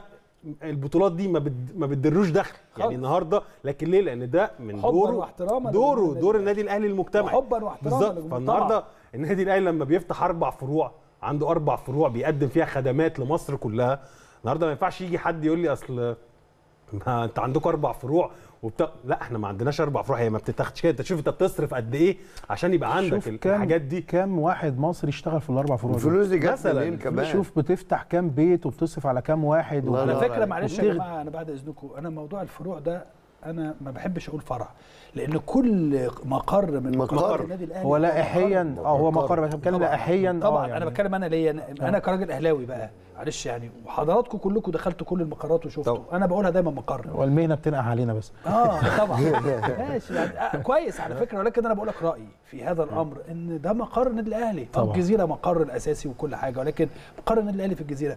طب هو معلش هو, هو مقر النادي الأهلي في الشيخ زايد ده يتقال عليه فرع لا أنا أقول لحضرتك بقى الأهم بهذا ال- بهذه الكميه الكبيرة أقول من لحضرتك بقى. التجمع تجمع الاسلام الأهم. بقى أن هناك دائما بين قيادات النادي الأهلي أو حزبة النادي الأهلي في من يخرجوا ككوادر جيل بعد جيل إنك ترتبط باسم مش هقول بقى نادي الوطنية أصلا من الوطنية دي مش هنقعد كل واحد يقول الوطنية هو أنت جزء من وطن فبترتبط بخطة التنمية. الله طبعا حين أقيم فرع مدينة نصر يا جماعة كانت المنطقة تحت التنمية. صح. كان امتداد مدينة نصر ما يصل بعد إلى هذه المرحلة. وشايف وعارف. الحمد. لله. آه، الشيخ زايد نفس القصة نفس القصة. والتجمع الحتة اللي جنبنا دي هناك في النادي الاهلي بتكبر بسبب وجود الأهلي. جزء منها إن أستاذ محمد أبو. علي اللي هيجي من السويد إن شاء الله عامل حاجة مهمة جدا قال لك شوف في كام حد بيشتغل هناك شوف بقى في كام حد هيشتغل في تنمية المنطقة جمعاء على رأي الأستاذ محي إسماعيل بما انه. بما إنه بقى في فرع النادي الأهلي. كابتن أو مقر النادي الاهلي حواليك بيحصل لا تعديل عن أنا طبعا كل واحد يقولها زي ما هو عايز بقول لك لا، ما أنا- أقصدش ده، أنا ساعات أنا بغلط على فكرة. أو لا، مش لا. بغلط. ساعات أنا أنا ما بحبش أقولها فرع. آه، هي أنا بس مقر. وبس قالها لك في الصحافه في الصحافة يعني. المكتوبة لازم ناخد ده بده. لكن هو مقر أربع مقار للنادي الأهلي مقر رئيسي والباقيين. يعني عايز أقول لحضرتك الناس بتقعد تحسب تقول لك النادي الأهلي 10 مليون دولار السنة دي حصيلة الجوائز. طب حد فكر يقول النادي الأهلي صرف كام مليون دولار؟ عشان خاطر ياخد البطولات دي والإنجازات دي. المكافآت السفر ال- الجوائز النهارده الكاف لما يقول لك مثلا بطل دوري أبطال أفريقيا بياخد 4 مليون دولار. هل حد عارف إن النادي الأهلي ممكن يكون بيصرف أكتر من 4 مليون دولار عشان ياخد البطولة دي؟ فالناس لازم وهي بتتكلم عن النادي الأهلي وإنجازات النادي الأهلي مش بقول لك اديله حقه. يعني انت لو حتى ما بتحبش النادي الأهلي عارف طلعوا قالوا إيه؟ حقه قال لك قطر الطاهر ضيع ضربة الجزاء الأهلي دخل له 8 مليون دولار طب أنا مع طب رزق بتاع يا ده رزق ربنا آه والله قال لك. خد خد دوري أبطال أفريقيا 2 ونص وخد الدوري ال- ولعب في الدوري طيب، خد مليون النهاردة 700 ده وخد ربنا بيكرم النادي وخد. برونزيه آه، كأس آه. العالم مش عارف بكل ده وصل له عن طريق ضربة أستاذ عصام شلتوت قال حاجة وهو بيتكلم عن ال- ال- المستقبل وال- والإدارة وعمل طب ما النهارده كرم ربنا بيجي ليه؟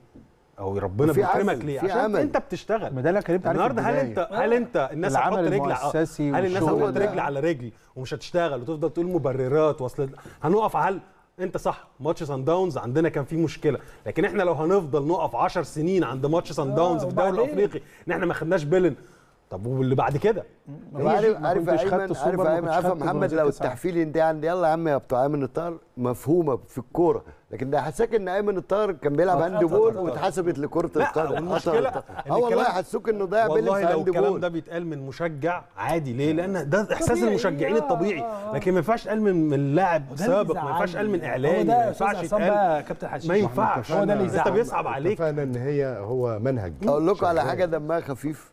البعض يعني قال لي إن الناس اللي هي بتعمل ده عشان يبينوا للإدارات البيضاء إن هم معاها وضد الأهلي. قال لك إيه؟ حاولوا يخلوا واحد في الاثنين خاين فما عرفوش. ليه؟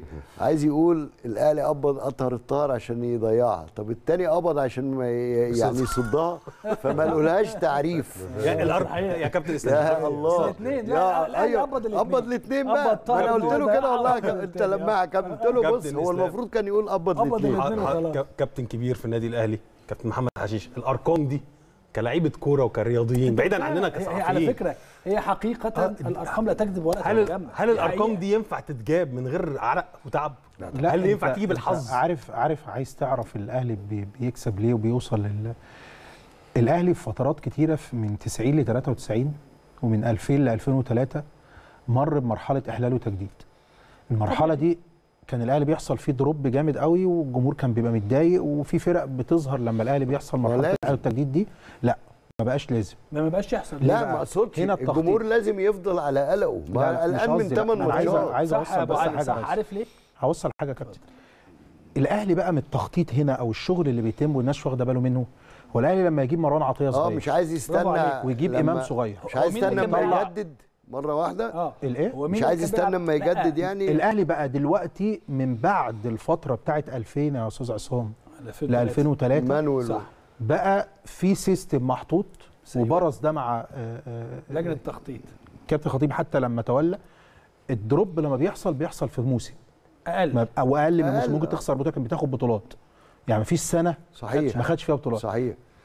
من أبرز الحاجات اللي نقف عندها في 23 أو الفترة اللي فاتت دي إن الأهلي من غير ما حد يحس صح. بينزل بمعدل معدل الأعمار السنية بتاع الفرق. يعني. إمام صغير رضا سليم صغير. عبد المنعم صغير مصطفى شبير صغير. عندك آه، مروان آه، عطية هاني. أكرم وهاني 25 وكوكا. 26 يعني. ما آه أكرم وهاني وكوكا كريم الدبيس آه زعلوك موجود مع الفريق الأول. آه، طاهر. كتير طاهر آه حتى كهربا مش اللي هو كبير بقى عندك دلوقتي الجيل اللي هو حمزة 30 و- وحمزة آه تلت ومص- تلت. تلت 30 مش عارف إيه. وبعد كده تلاقي آه، 27 و26 مش عارف بعد كده تلاقي فريق صغيرين. ده ليه بيتعمل؟ ما هو ممكن واحد تاني يقول لك يا عم ده بيكسبوا بالحظ. ما هو مش حظ. يعني ما هو قاعد- النادي الأهلي من 1907 بيكسب بالحظ. الحظ معاه لغاية النهارده؟ لا لا أنا ببرز للناس يا يعني كابتن. يعني مش ممكن يكون ما هو الناس ما في بقتش خلاص متداركة ده. أنا ببرز للناس ممكن تكون أنت مش واخد بالك من حاجات بس دي صح. بتأدي في الآخر إن الأهلي يوصل له يعني المبلغ الكبير لك ده إيه؟ بالدولار يعني أو ياخد الكم ده هي إيه بالبطولات دور لجنة التخطيط؟ مثلا. فأنا كنت دايما أقول للناس أنا أنا عارف القصة. فأنا كنت أقول لهم دايما يا جماعة دور لجنة التخطيط ده مثلا في النادي الأهلي تحديدا هو شيء آه طبعا اللاعبين وكذا وإحنا عايزين لعيب عايزين اصحاب نجيب كذا دلوقتي فنجيب كذا ولكن على الجانب الآخر الناس دي بتقعد تدرس السنة الجاية زي وال وال والمثال اللي بيقال في هذا الأمر إيه؟ إن السنة اللي فاتت مين الثلاثه اللي كانوا بيلعبوا في نص الملعب عندنا؟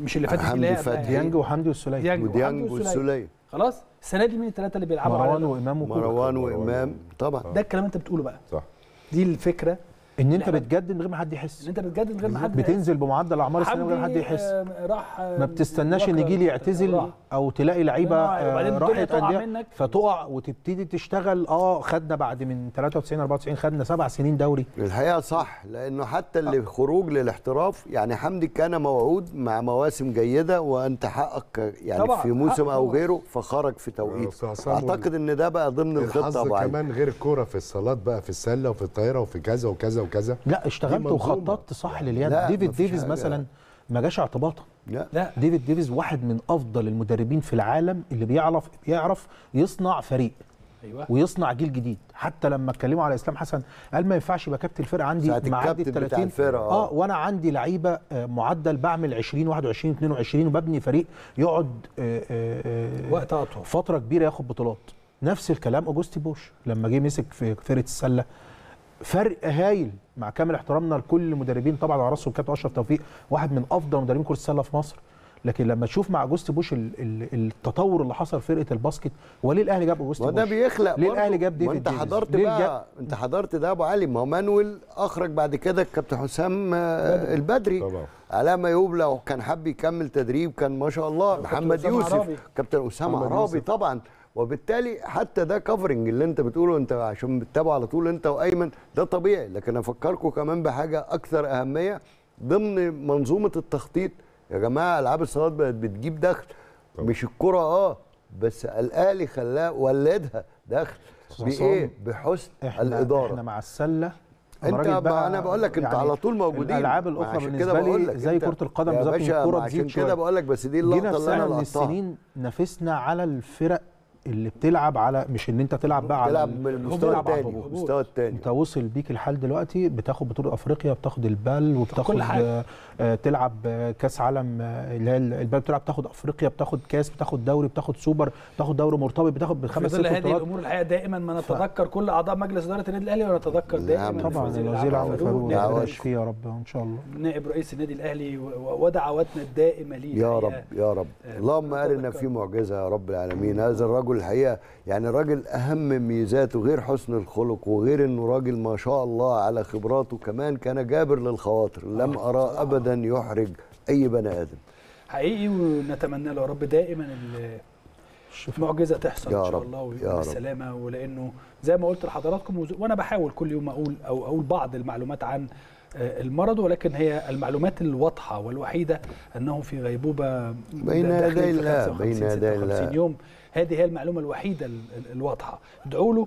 يا رب يا رب. والنهاردة تحديدا لأن بكرة برضو في فيعني أتمنى إن حضراتكم برضو تدعوا له النهارده. إن شاء الله إن شاء الله يرجع سالما غانما. لأهله آه، بشكل بسيط بشكل كامل إن شاء الله. خلونا نطلع فاصل وبعد هذا الفاصل نرجع على تقرير. تقرير هيقول لنا أهم الصعوبات اللي هتواجه النادي الأهلي في الموسم القادم ونتكلم فيها مع نتكلم فيها مع نجومنا الكبار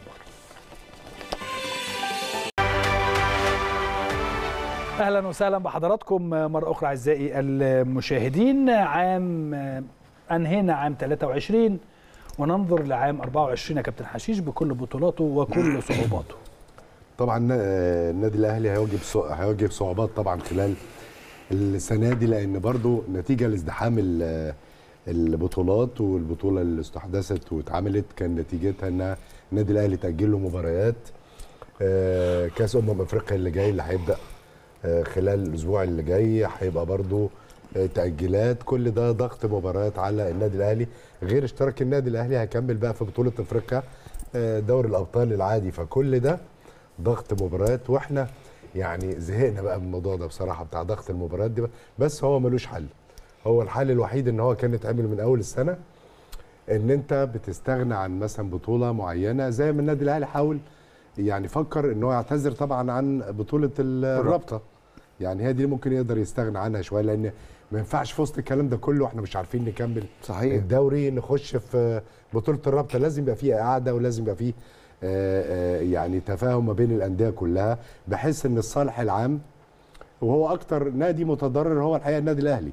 فلازم يبقى الناس التانية متعاونة لإصلاح الكرة المصرية أو مسار الكرة المصرية أو المنتخبات المصرية عن طريق آه، يعني ضبط بقى المواعيد و و وتبتدي بقى في وقت الطبيعي والناس تاخد راحات وكده فنأمل يعني إن شاء الله إن السنة دي تعدي بقى بالزحمة بتاعتها لغاية ما نخلص يعني السنة المليانة دي يعني. أه، هسيب المنتخب لأنه هنتكلم عن المنتخب يا, يا, يا أبو علي ولكن الأهلي ما بعد فترة المنتخب أعتقد الدنيا هتبقى صعبة شوية هو ال- ال- الميزة اللي عملها مارسيل صعبة كولر في السنة دي الضغوطات يعني. آه الميزة اللي عملها مارسيل كولر السنة دي هي آه، فكرة ال rotation الكتير اللي الراجل عمله جهز مجموعه كبيرة من اللعيبة وبقى عندك في كل مركز مع التدعيمات بإذن الله اللي تحصل خلال ال- الفترة الجاية. هيبقى عندك آه، مرونة إن أنت فيه في كل مركز لعيبة آه، كويسة.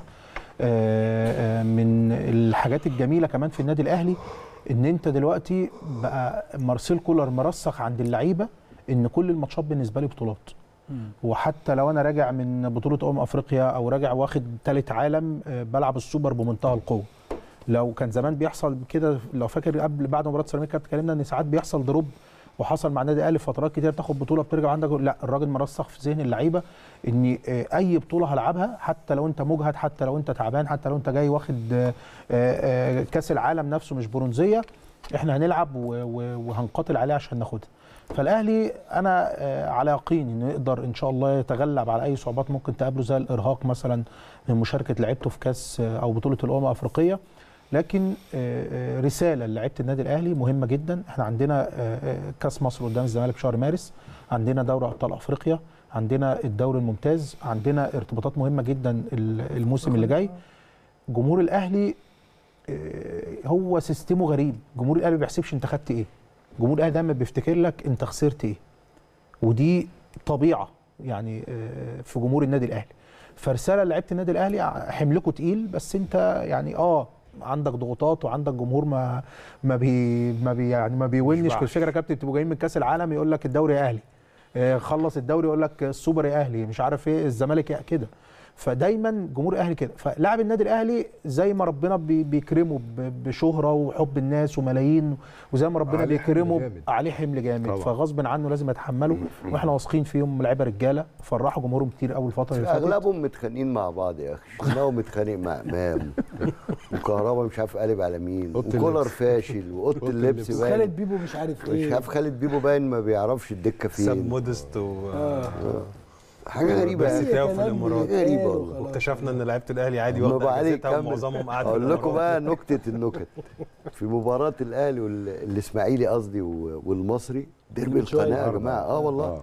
حصلت مناقشات يعني حسب الزملاء ما قالوا لي بعض. الزملاء يمكن خدوها خبط. مناقشات لا مناقشات مضاربات في المدرجات آه لا دي مش مناقشات يا الفيديو. اللي أنا شفته ده مش يا مناقشات سيدي الفاضل مش ده الموضوع اسمع بقى. اسمع بقى الموضوع اما قايل لك إيه بقى اياه وجمهور الإسماعيلي يا جماعة معلش جمهور مضغوط عليه والله هذا حدث. جمهور مضغوط عليه وعصبي أنا بحبه وبحب جمهور المصري برضه لكن جمهور مضغوط عليه. ياما الأهلي فرغوا من اللعيبة. إيه؟ في ناس ده في آه، ناس اتخانقوا مع بعض؟ يعني؟ أقسم. بالله. آه والله. في ناس اتخانقوا مع بعض في المدرجات في ماتش الإسماعيلي والمصري. إيه اللي دخل إيه ال- ده؟ آه. اللي جاب القلعة جنب إسماعيلية. صعب جدا فالاهلي طبعا مشروع فشل ذريع آه والله سريع. كان كان بيحصل كان بيحصل حاجات مثلا في الجماهير بتنفعل لا، أنت. خدت بالك؟ فبيحصل كراسي لا، هو هنا بيتكلمش يقول لك إيه ده, ده حماس زيادة يجي عند جمهور الأهلي يقول لك أنت هتدفع فلوس عشان خاطر جمهورك لا، لا، آه لا بس صح صح لا اللي كان أستاذ عصام بيقول ده شرطه ده يعني ده حاجة يعني ده كارثة. لما النهاردة- اللي بيتقال هو ده. يختلف عن إيه. إن الأهلي ال- ال- الشركات الراعية بتدي له أكتر عشان خاطر بس. على الأقل إن الأهلي مش هيقارن أهلي إس- إسماعيلي ماتش إسماعيلي ومصري. ومصري إحنا في المدرج ما نعرفش ليه أو إيه اللي حصل. أنا ما أعرفش الم... أنا فاهم الاسماعيلي مضغوط عشان. الأهلي بيفرغ هو الأهلي عشان ياما استحملوا الأهلي. أنت عشان الأهلي جاب؟ كابتن إسلام الشاطر. طيب نروح هروح لك يا ايمن سريعا الناس بطلت بقى لها مليون سنه أنا يا بطل والله والله العظيم يا. جماعة أنا زهقت طب. هقول لك حاجة ما الاهلي بقى له كام سنه ما خدش حد من الاسماعيلي هو كان خد حد من مش. قصدي لا لا بقى جماعة الكلام ده، لا لا لا. لا لا. لا لا لا أنا برضه لا لا لا فكره لا ان انت بتنور لا لا لا لا يا للناس حبيبي ما ينفعش الكلام ده. عارف ليه ما ينفعش ما هو ما؟ ينفعش، أنا دي لا، متفقين عليها. ليه أساسا ما ينفعش نتكلم فيه؟ آه. ليه؟ لأنه معنى كده إن أنا أقول بقى مانشستر سيتي اللعيبة اللي جايبها جايبها مثلا من برشلونة فيبقى بفرغ برشلونة. إيه يا جماعة الكلام اللي بيتقال ده؟ الكلام ده. غير صحيح. الكلام ده ملوش علاقة بالاحتراف ولا ليه علاقة بالاحتراف اللي بيتم تطبيقه من قلنا الألف قلنا إيه يا للياء كابتن؟ صح. قلنا إيه؟ قال له لو مش حافظ. أيوه برافو عليك. ميز. هو ده. آه يعني فنفس الكلام. نفس الكلام. انت أنت بتقول كذا. طب الأهلي بقى له كام سنة؟ أيمن ما خدش لعيبه من الإسماعيلي. ايا كان بقى الإسماعيلي عنده عنده مشاكل هل ده ليه علاقة بالأهلي الحقيقة الإسماعيلي عمل ماتش حلو جدا النهارده آه. والله طبعاً،. طبعاً. هي دي المشكلة إن ما حدش بيتكلم في حضرتك حضرتك في. ال intro حللت الماتش واتكلمت فيه إنما- اتفرجت عليه. آه طب الناس ليه ما بتحللش. حللوا الماتش مالكوش دعوه لا. ما هو قال لك أهو إن في ناس الغرض الرئيسي أيوة. منها هو ال- الوصول إلى الكلام الأهلي بنقوله في ده. الموضوع طب هو كويس حد هو صدق كويس بقى قال لك إن الخناقة دي. سببها يعني قال لك كده ما قالكش إن الأهلي ما بيروحش يلعب في إسماعيلية مثلا يا ريت لا والله هقول يا لك حاجة ريت دي طب. عارف دي تعدي والله دي هو- أسف. آه، يا ريت أنت لكن أبو. علي أنت ما, أنت ما خدتش بالك فرغ من ده إيه بيتكلم إنه ليه الجمهور الإسماعيلي هو عارف سر عصبيته مش الماتش ده في الفترات اللي فاتت ديك منه مضغوط مضغوط من الاهلي سنة 2000. الذي كان والله. قد فرغه أنا معايا حاجة حلوة والله الكهرباء والعلي معلول أنا عايز علي معلول عشان ماشي، عيد ميلاد. كل سنة وأنت طيب. آه، نقول لعلي معلول كل سنة سنه طيب بما إني راجل جبهة يسرى معاه. آه، زميل كبرت باني صحيح. زميل آه، يعني. طبعا. علي معلول واحد من أهم اللعيبة المحترفة في. تاريخ النادي الأهلي. علامة آه، فارقة آه، يعني بجد هو فعلا آه، نقدر نقول إحنا زي ما بنقول مثلا آه، بركات أبو تريكة كابتن إسلام. في الجيل الحالي في السنين الأخيرة علي معلول عاصر فترات كبيرة جدا مع النادي عاصر أوقات صعبة وأوقات حلوة كتير. آه، يعني علي معلول لو استعرضنا كده برضو أرقامه سريعا إحنا هنقول له كل سنة وأنت طيب عيد ميلاده ال 34 ويعني نتم يعني لسه عارف- علوه صغير يا آه، علوه خلي بالك لسه والله ثلاث أربع سنين كمان. جم- أنا وجهة نظري. جمهور الأهلي بيستخدم الكوبليه أو الجملة بتاعته نلاقي زيك فين يا علي يعني فعلا. رجل أخلص للنادي الأهلي و- يعني كوبليه بكل. آه بكل بكل المعاني. ويستحق المكان اللي هو فيه يعني. بص يا كابتن اسلام نتكلم المباريات بالتقريب كام 272 خلي بالك ساعات في مباراه تقع بطولة عربية كم بطوله سوبر أيمن؟ ثمانية. كام من سبعة. 2016 صح؟ سبعة 2017 ل 2023 سبع مواسم سبع سبع مواسم مواسم. سبع على مواسم فكرة في الترتيب هو تقريبا 18 كان بطولة. علي معلول رقم خمسة أو أربعة في كباتن النادي الأهلي حاليا يعني ده برضو حاجة كبيرة كلاعب محترف يبقى موجود في الترتيب أيوة، المتقدم ده للترتيب آه. فالنهاردة بنتكلم في حوالي 200 شناوي سولية هاني علي في في رامي ربيعة كمان. ورامي آه. رامي آه. ف... فالنهارده بنتكلم مباريات 272 ل back left بيجيب 51 جون. آه بيعمل 79 assist مساهم في 130 هدف مع النادي الأهلي. حوالي 130 ممكن يبقوا أكتر شوية أو أقل شوية بس ده رقم ده رقم ل back left. آه علي معلول على فكرة في فترة اتقال يعني إيه النادي الأهلي يجيب back left أجنبي. آه. اتقال كده. فالنهارده لأ بص بطولات علي معلول مع النادي الأهلي في المواسم خمسة دوري. ثلاثة كاس مصر آه، خمسة سوبر مصري ثلاثة دوري أبطال أفريقيا اثنين سوبر أفريقي. ثلاث إنجازات تتعلق بالميدالية البرونزية مش كأس ثلاث. بطولات عشان ما حدش يقول لي أنت بتقول على كأس العالم للأندية البرونزية بطولة. 18 بطولة. لاعب أنت شوف 18 بطولة شوف- وثلاثة إنجاز. شوف الإعلامي آه، ثلاثة. التونسي وهو بيتكلم على علي معلول والأهلي. طبعا. بيقولوا آه ده بيقولوا و- و- ومدى الاعتزاز ومدى شفت زبير بقى يعني؟ الافتخار كله في دبي؟ آه. الماتش. لا مدى الاعتزاز والفخر بان علي معلول دلوقتي واحد من أهم اللاعبين في سفير- النادي سفير الاهلي لتونس في مصر. سفير تونس لتونس في مصر وخير من مثل شعبنا. مع أشقائنا المصريين علي المعلول النهارده. يعني بجد آه. أنا يعني للأمانة أنا. كمشجع أنا عايز أشكره يعني أنا للأمانة أنا مع أيمن، كمشجع أنا عايز أشكر علي معلول عمال أفتكر على كل ما إيه؟ قدمه وما سيقدمه إن شاء الله للنادي الأهلي كان علي معلول احتياطي جمهور الأهلي كان بيتمنى مش فاكر كان رامي ربيعة يخرج تبديل عشان وعلي ينزل ينزل آه، ده قريب عشان كمان. علي يحط آه، الشاره ويشوفوا علي آه، لابس آه، شاره بصوا جمهور الأهلي من كتر حبه في فات. لعيبه والسلاية اللي نزل. والسلايه اللي نزل خد بص يا كابتن يعني جمهور الأهلي لما بيتعلق بحد وبيحس إن هو مخلص. وبيحس إن هو بيقاتل. عشان التيشيرت. و... قبل فعلي ما تطلع التقرير أنا آه. علي معلول حكى بعد القضية مع الإعلامية منى الشاذلي على واقع حصلت له. هو بيقول لك أنا من كتر ما الناس يعني مش مصدق اللي بيحصل انه عامل ديليفري راح له بال order على بيته بعد البطولة دي. فبيقول لك لما فتح ما رضاش يحاسبه عشان خاطر حبا. فعلي معلول قال له لا ده أنت كل كل. إحنا في والله مقولة في مقولة بتتقال كل حاجة حلوة بتبقى بدايتها علي معلول. تماس للمعلول assist الوداد معلول في ماتش آخر ماتش مودست معلول. أنا معلش أنا الجيل آ- بتاعنا. آه أنا آسف إن أنا يعني اتكلمت عنه لا، يعني لا،. بس فعلا أنا كمشجع وحاسس إن علي إن سنة الحياة قربت ايا كان. الوقت آه جيلبرتو آه back left وايا كان. وقته في الملاعب بالك هو إيه، بيشيد كده وجيلبرتو لعلي حبيبه. بجد يعني هو في علاقة بينه وبين جيلبرتو فكرة. هي هي سنة الحياة طبيعي ف- جدا فحاسس إن عايز وكولر نشكره. الفاشل قال حاجة مهمة إنه اللاعبين الخبرات. آه والله بي... فعلا لابد من وجودهم وأنت قلتها. مرة اللي هو يطلع لك بقى البديل هيتعلم منه في أوضة اللبس وأكيد الكابتن في وقت من الأوقات كان دليل لحد من الشباب طبعاً. طالع وحضرتك حد شافك أو أنت شفت الجيل اللي قبلك صحيح. ده طبيعي جدا كل إنما اللعيبة الصغيرة اللي تألقت يا فاشل ما ريس تقدرش لا، كل. اللعيبة اللي تألقت حلوة كل سنة وأنت طيب يا حبيبي وده ما عايز تقول حاجة عشان آه عايز بس. نقطة كل اللعيبة الكبيرة اللي, اللي, اللي طالعة من ناشئين الأهلي أو الصغيرين وتألقوا لعبوا مع لعيبة آه، آه، آه، عظام زي علي معلول كده. تشوف كابتن. سيد بدايته شوف لعيبة كتيرة مهاجمين في النادي الأهلي متعب أو هو يعني اللعيبة اللي طلعت من قطاع الناشئين وكسرت الدنيا طلعت جنب لعيبة. كبار وحسام عاشور قدروا يحتووهم ويضموهم ويدخلوهم جوه سواء الفرقة. مصري ف- أو أجنبي ما تفرقش. لكن مع نجم كبير آخر حاجة بس أكبر دليل على فشل كولر برؤية زملكاوية. آه والله. كابتن حلمي طولان. مع زملاء يعني بس مش في القنوات يعني في في اليوتيوب. يعني في اليوتيوب معاهم.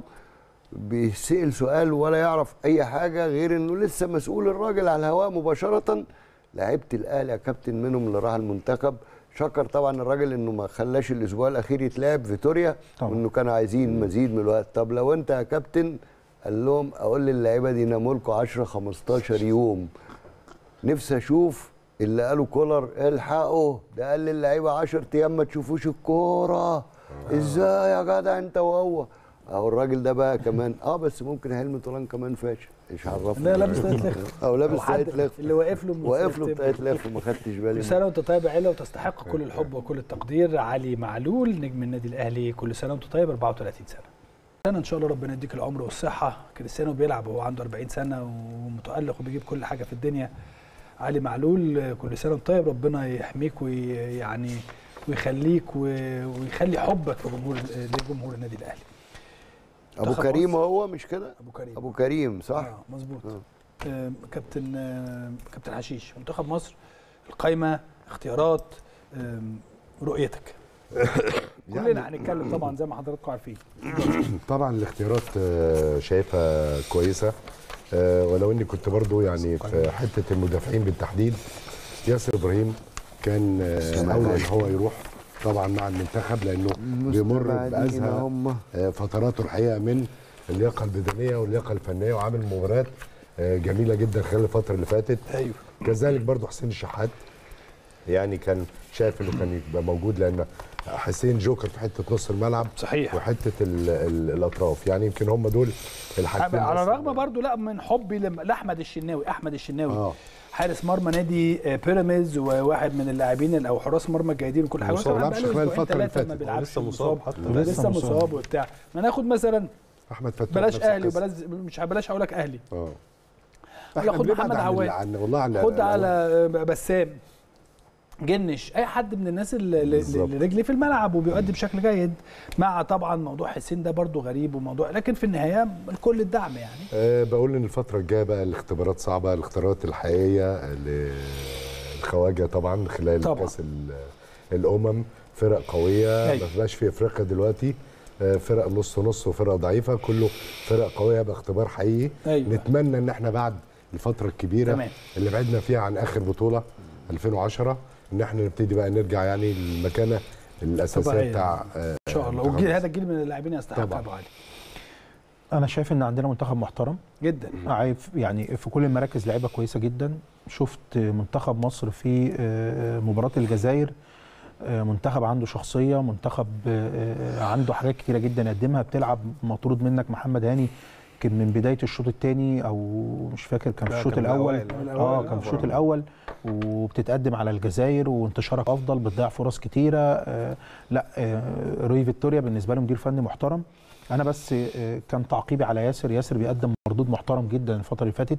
بعتبره هو عبد المنعم أفضل آه سردباكين في مصر. ان في تجانس كمان آه في دي. هارموني بينهم. وفي. آه يعني آه وكنت بقول حتى لو الراجل هيلعب في آه المنتخب يا ريت يلعب بياسر وعبد المنعم أيوه أيوه ياسر مقاتل وعبد المنعم عاقل جدا والاثنين عندهم سرعات والاثنين عندهم آه، آه، آه، كورة كويسة عندهم آه، روح عالية بعض، خلي بالك. آه. المكان ده محتاج اتنين يكونوا في انسجام يعني صحيح بالظبط فبغض النظر مش هنقف عند. الموقف ده كتير عندنا آه، مهمة وطنية الناس كلها بتتكاتف خلف المنتخب حتى جمهور الأهلي لما اتكلم في ناس تقول لك يا عم طب كويس ما هو ريح اتنين ما لا الناس ما بصيتهاش كده الناس منتخب بص مصر. منتخب مصر وعايزين النادي الأهلي بقى صحيح. فيه 10 و11 وبتاع صحيح فالفتره الجاية صعبة ومحتاجة تكاتف وأتمنى بقى يعني ال- الناس كلها ترسخ يعني كلامها سواء إعلام أو social media.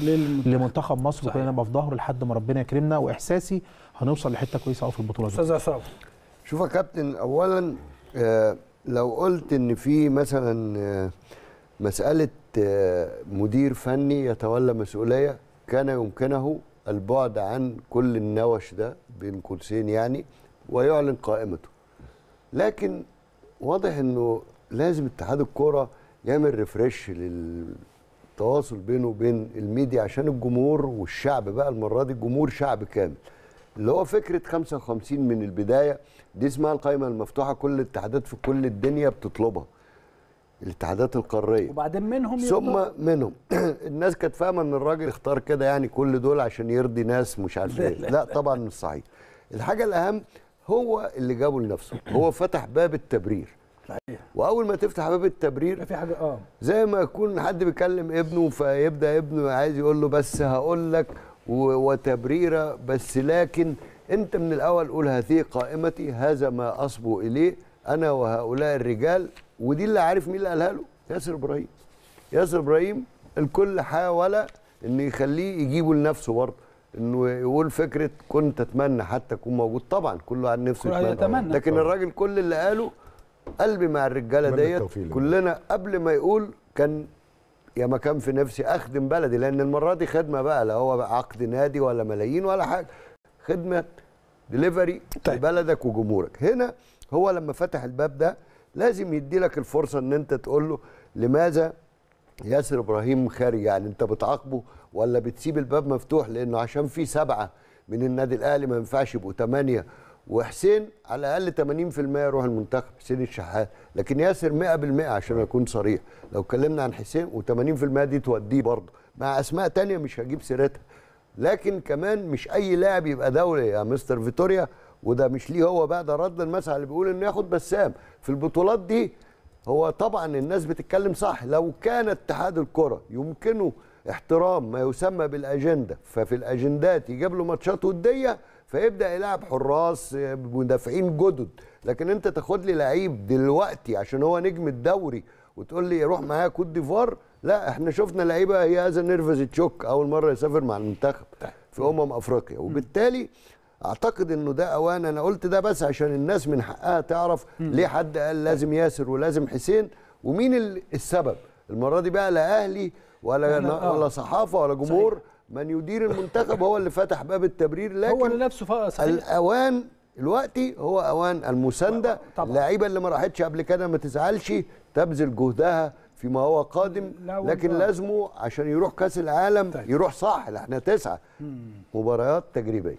آه، وعايز أقول برضو إن إحنا الفترة اللي جاية كلها هتبقى إن شاء الله غالبا عن منتخب مصر حتى لأن اللعيبة حتى في أجازة النادي الأهلي في أجازة. عموما صحيح. برضو يا أيمن وسريعا جدا.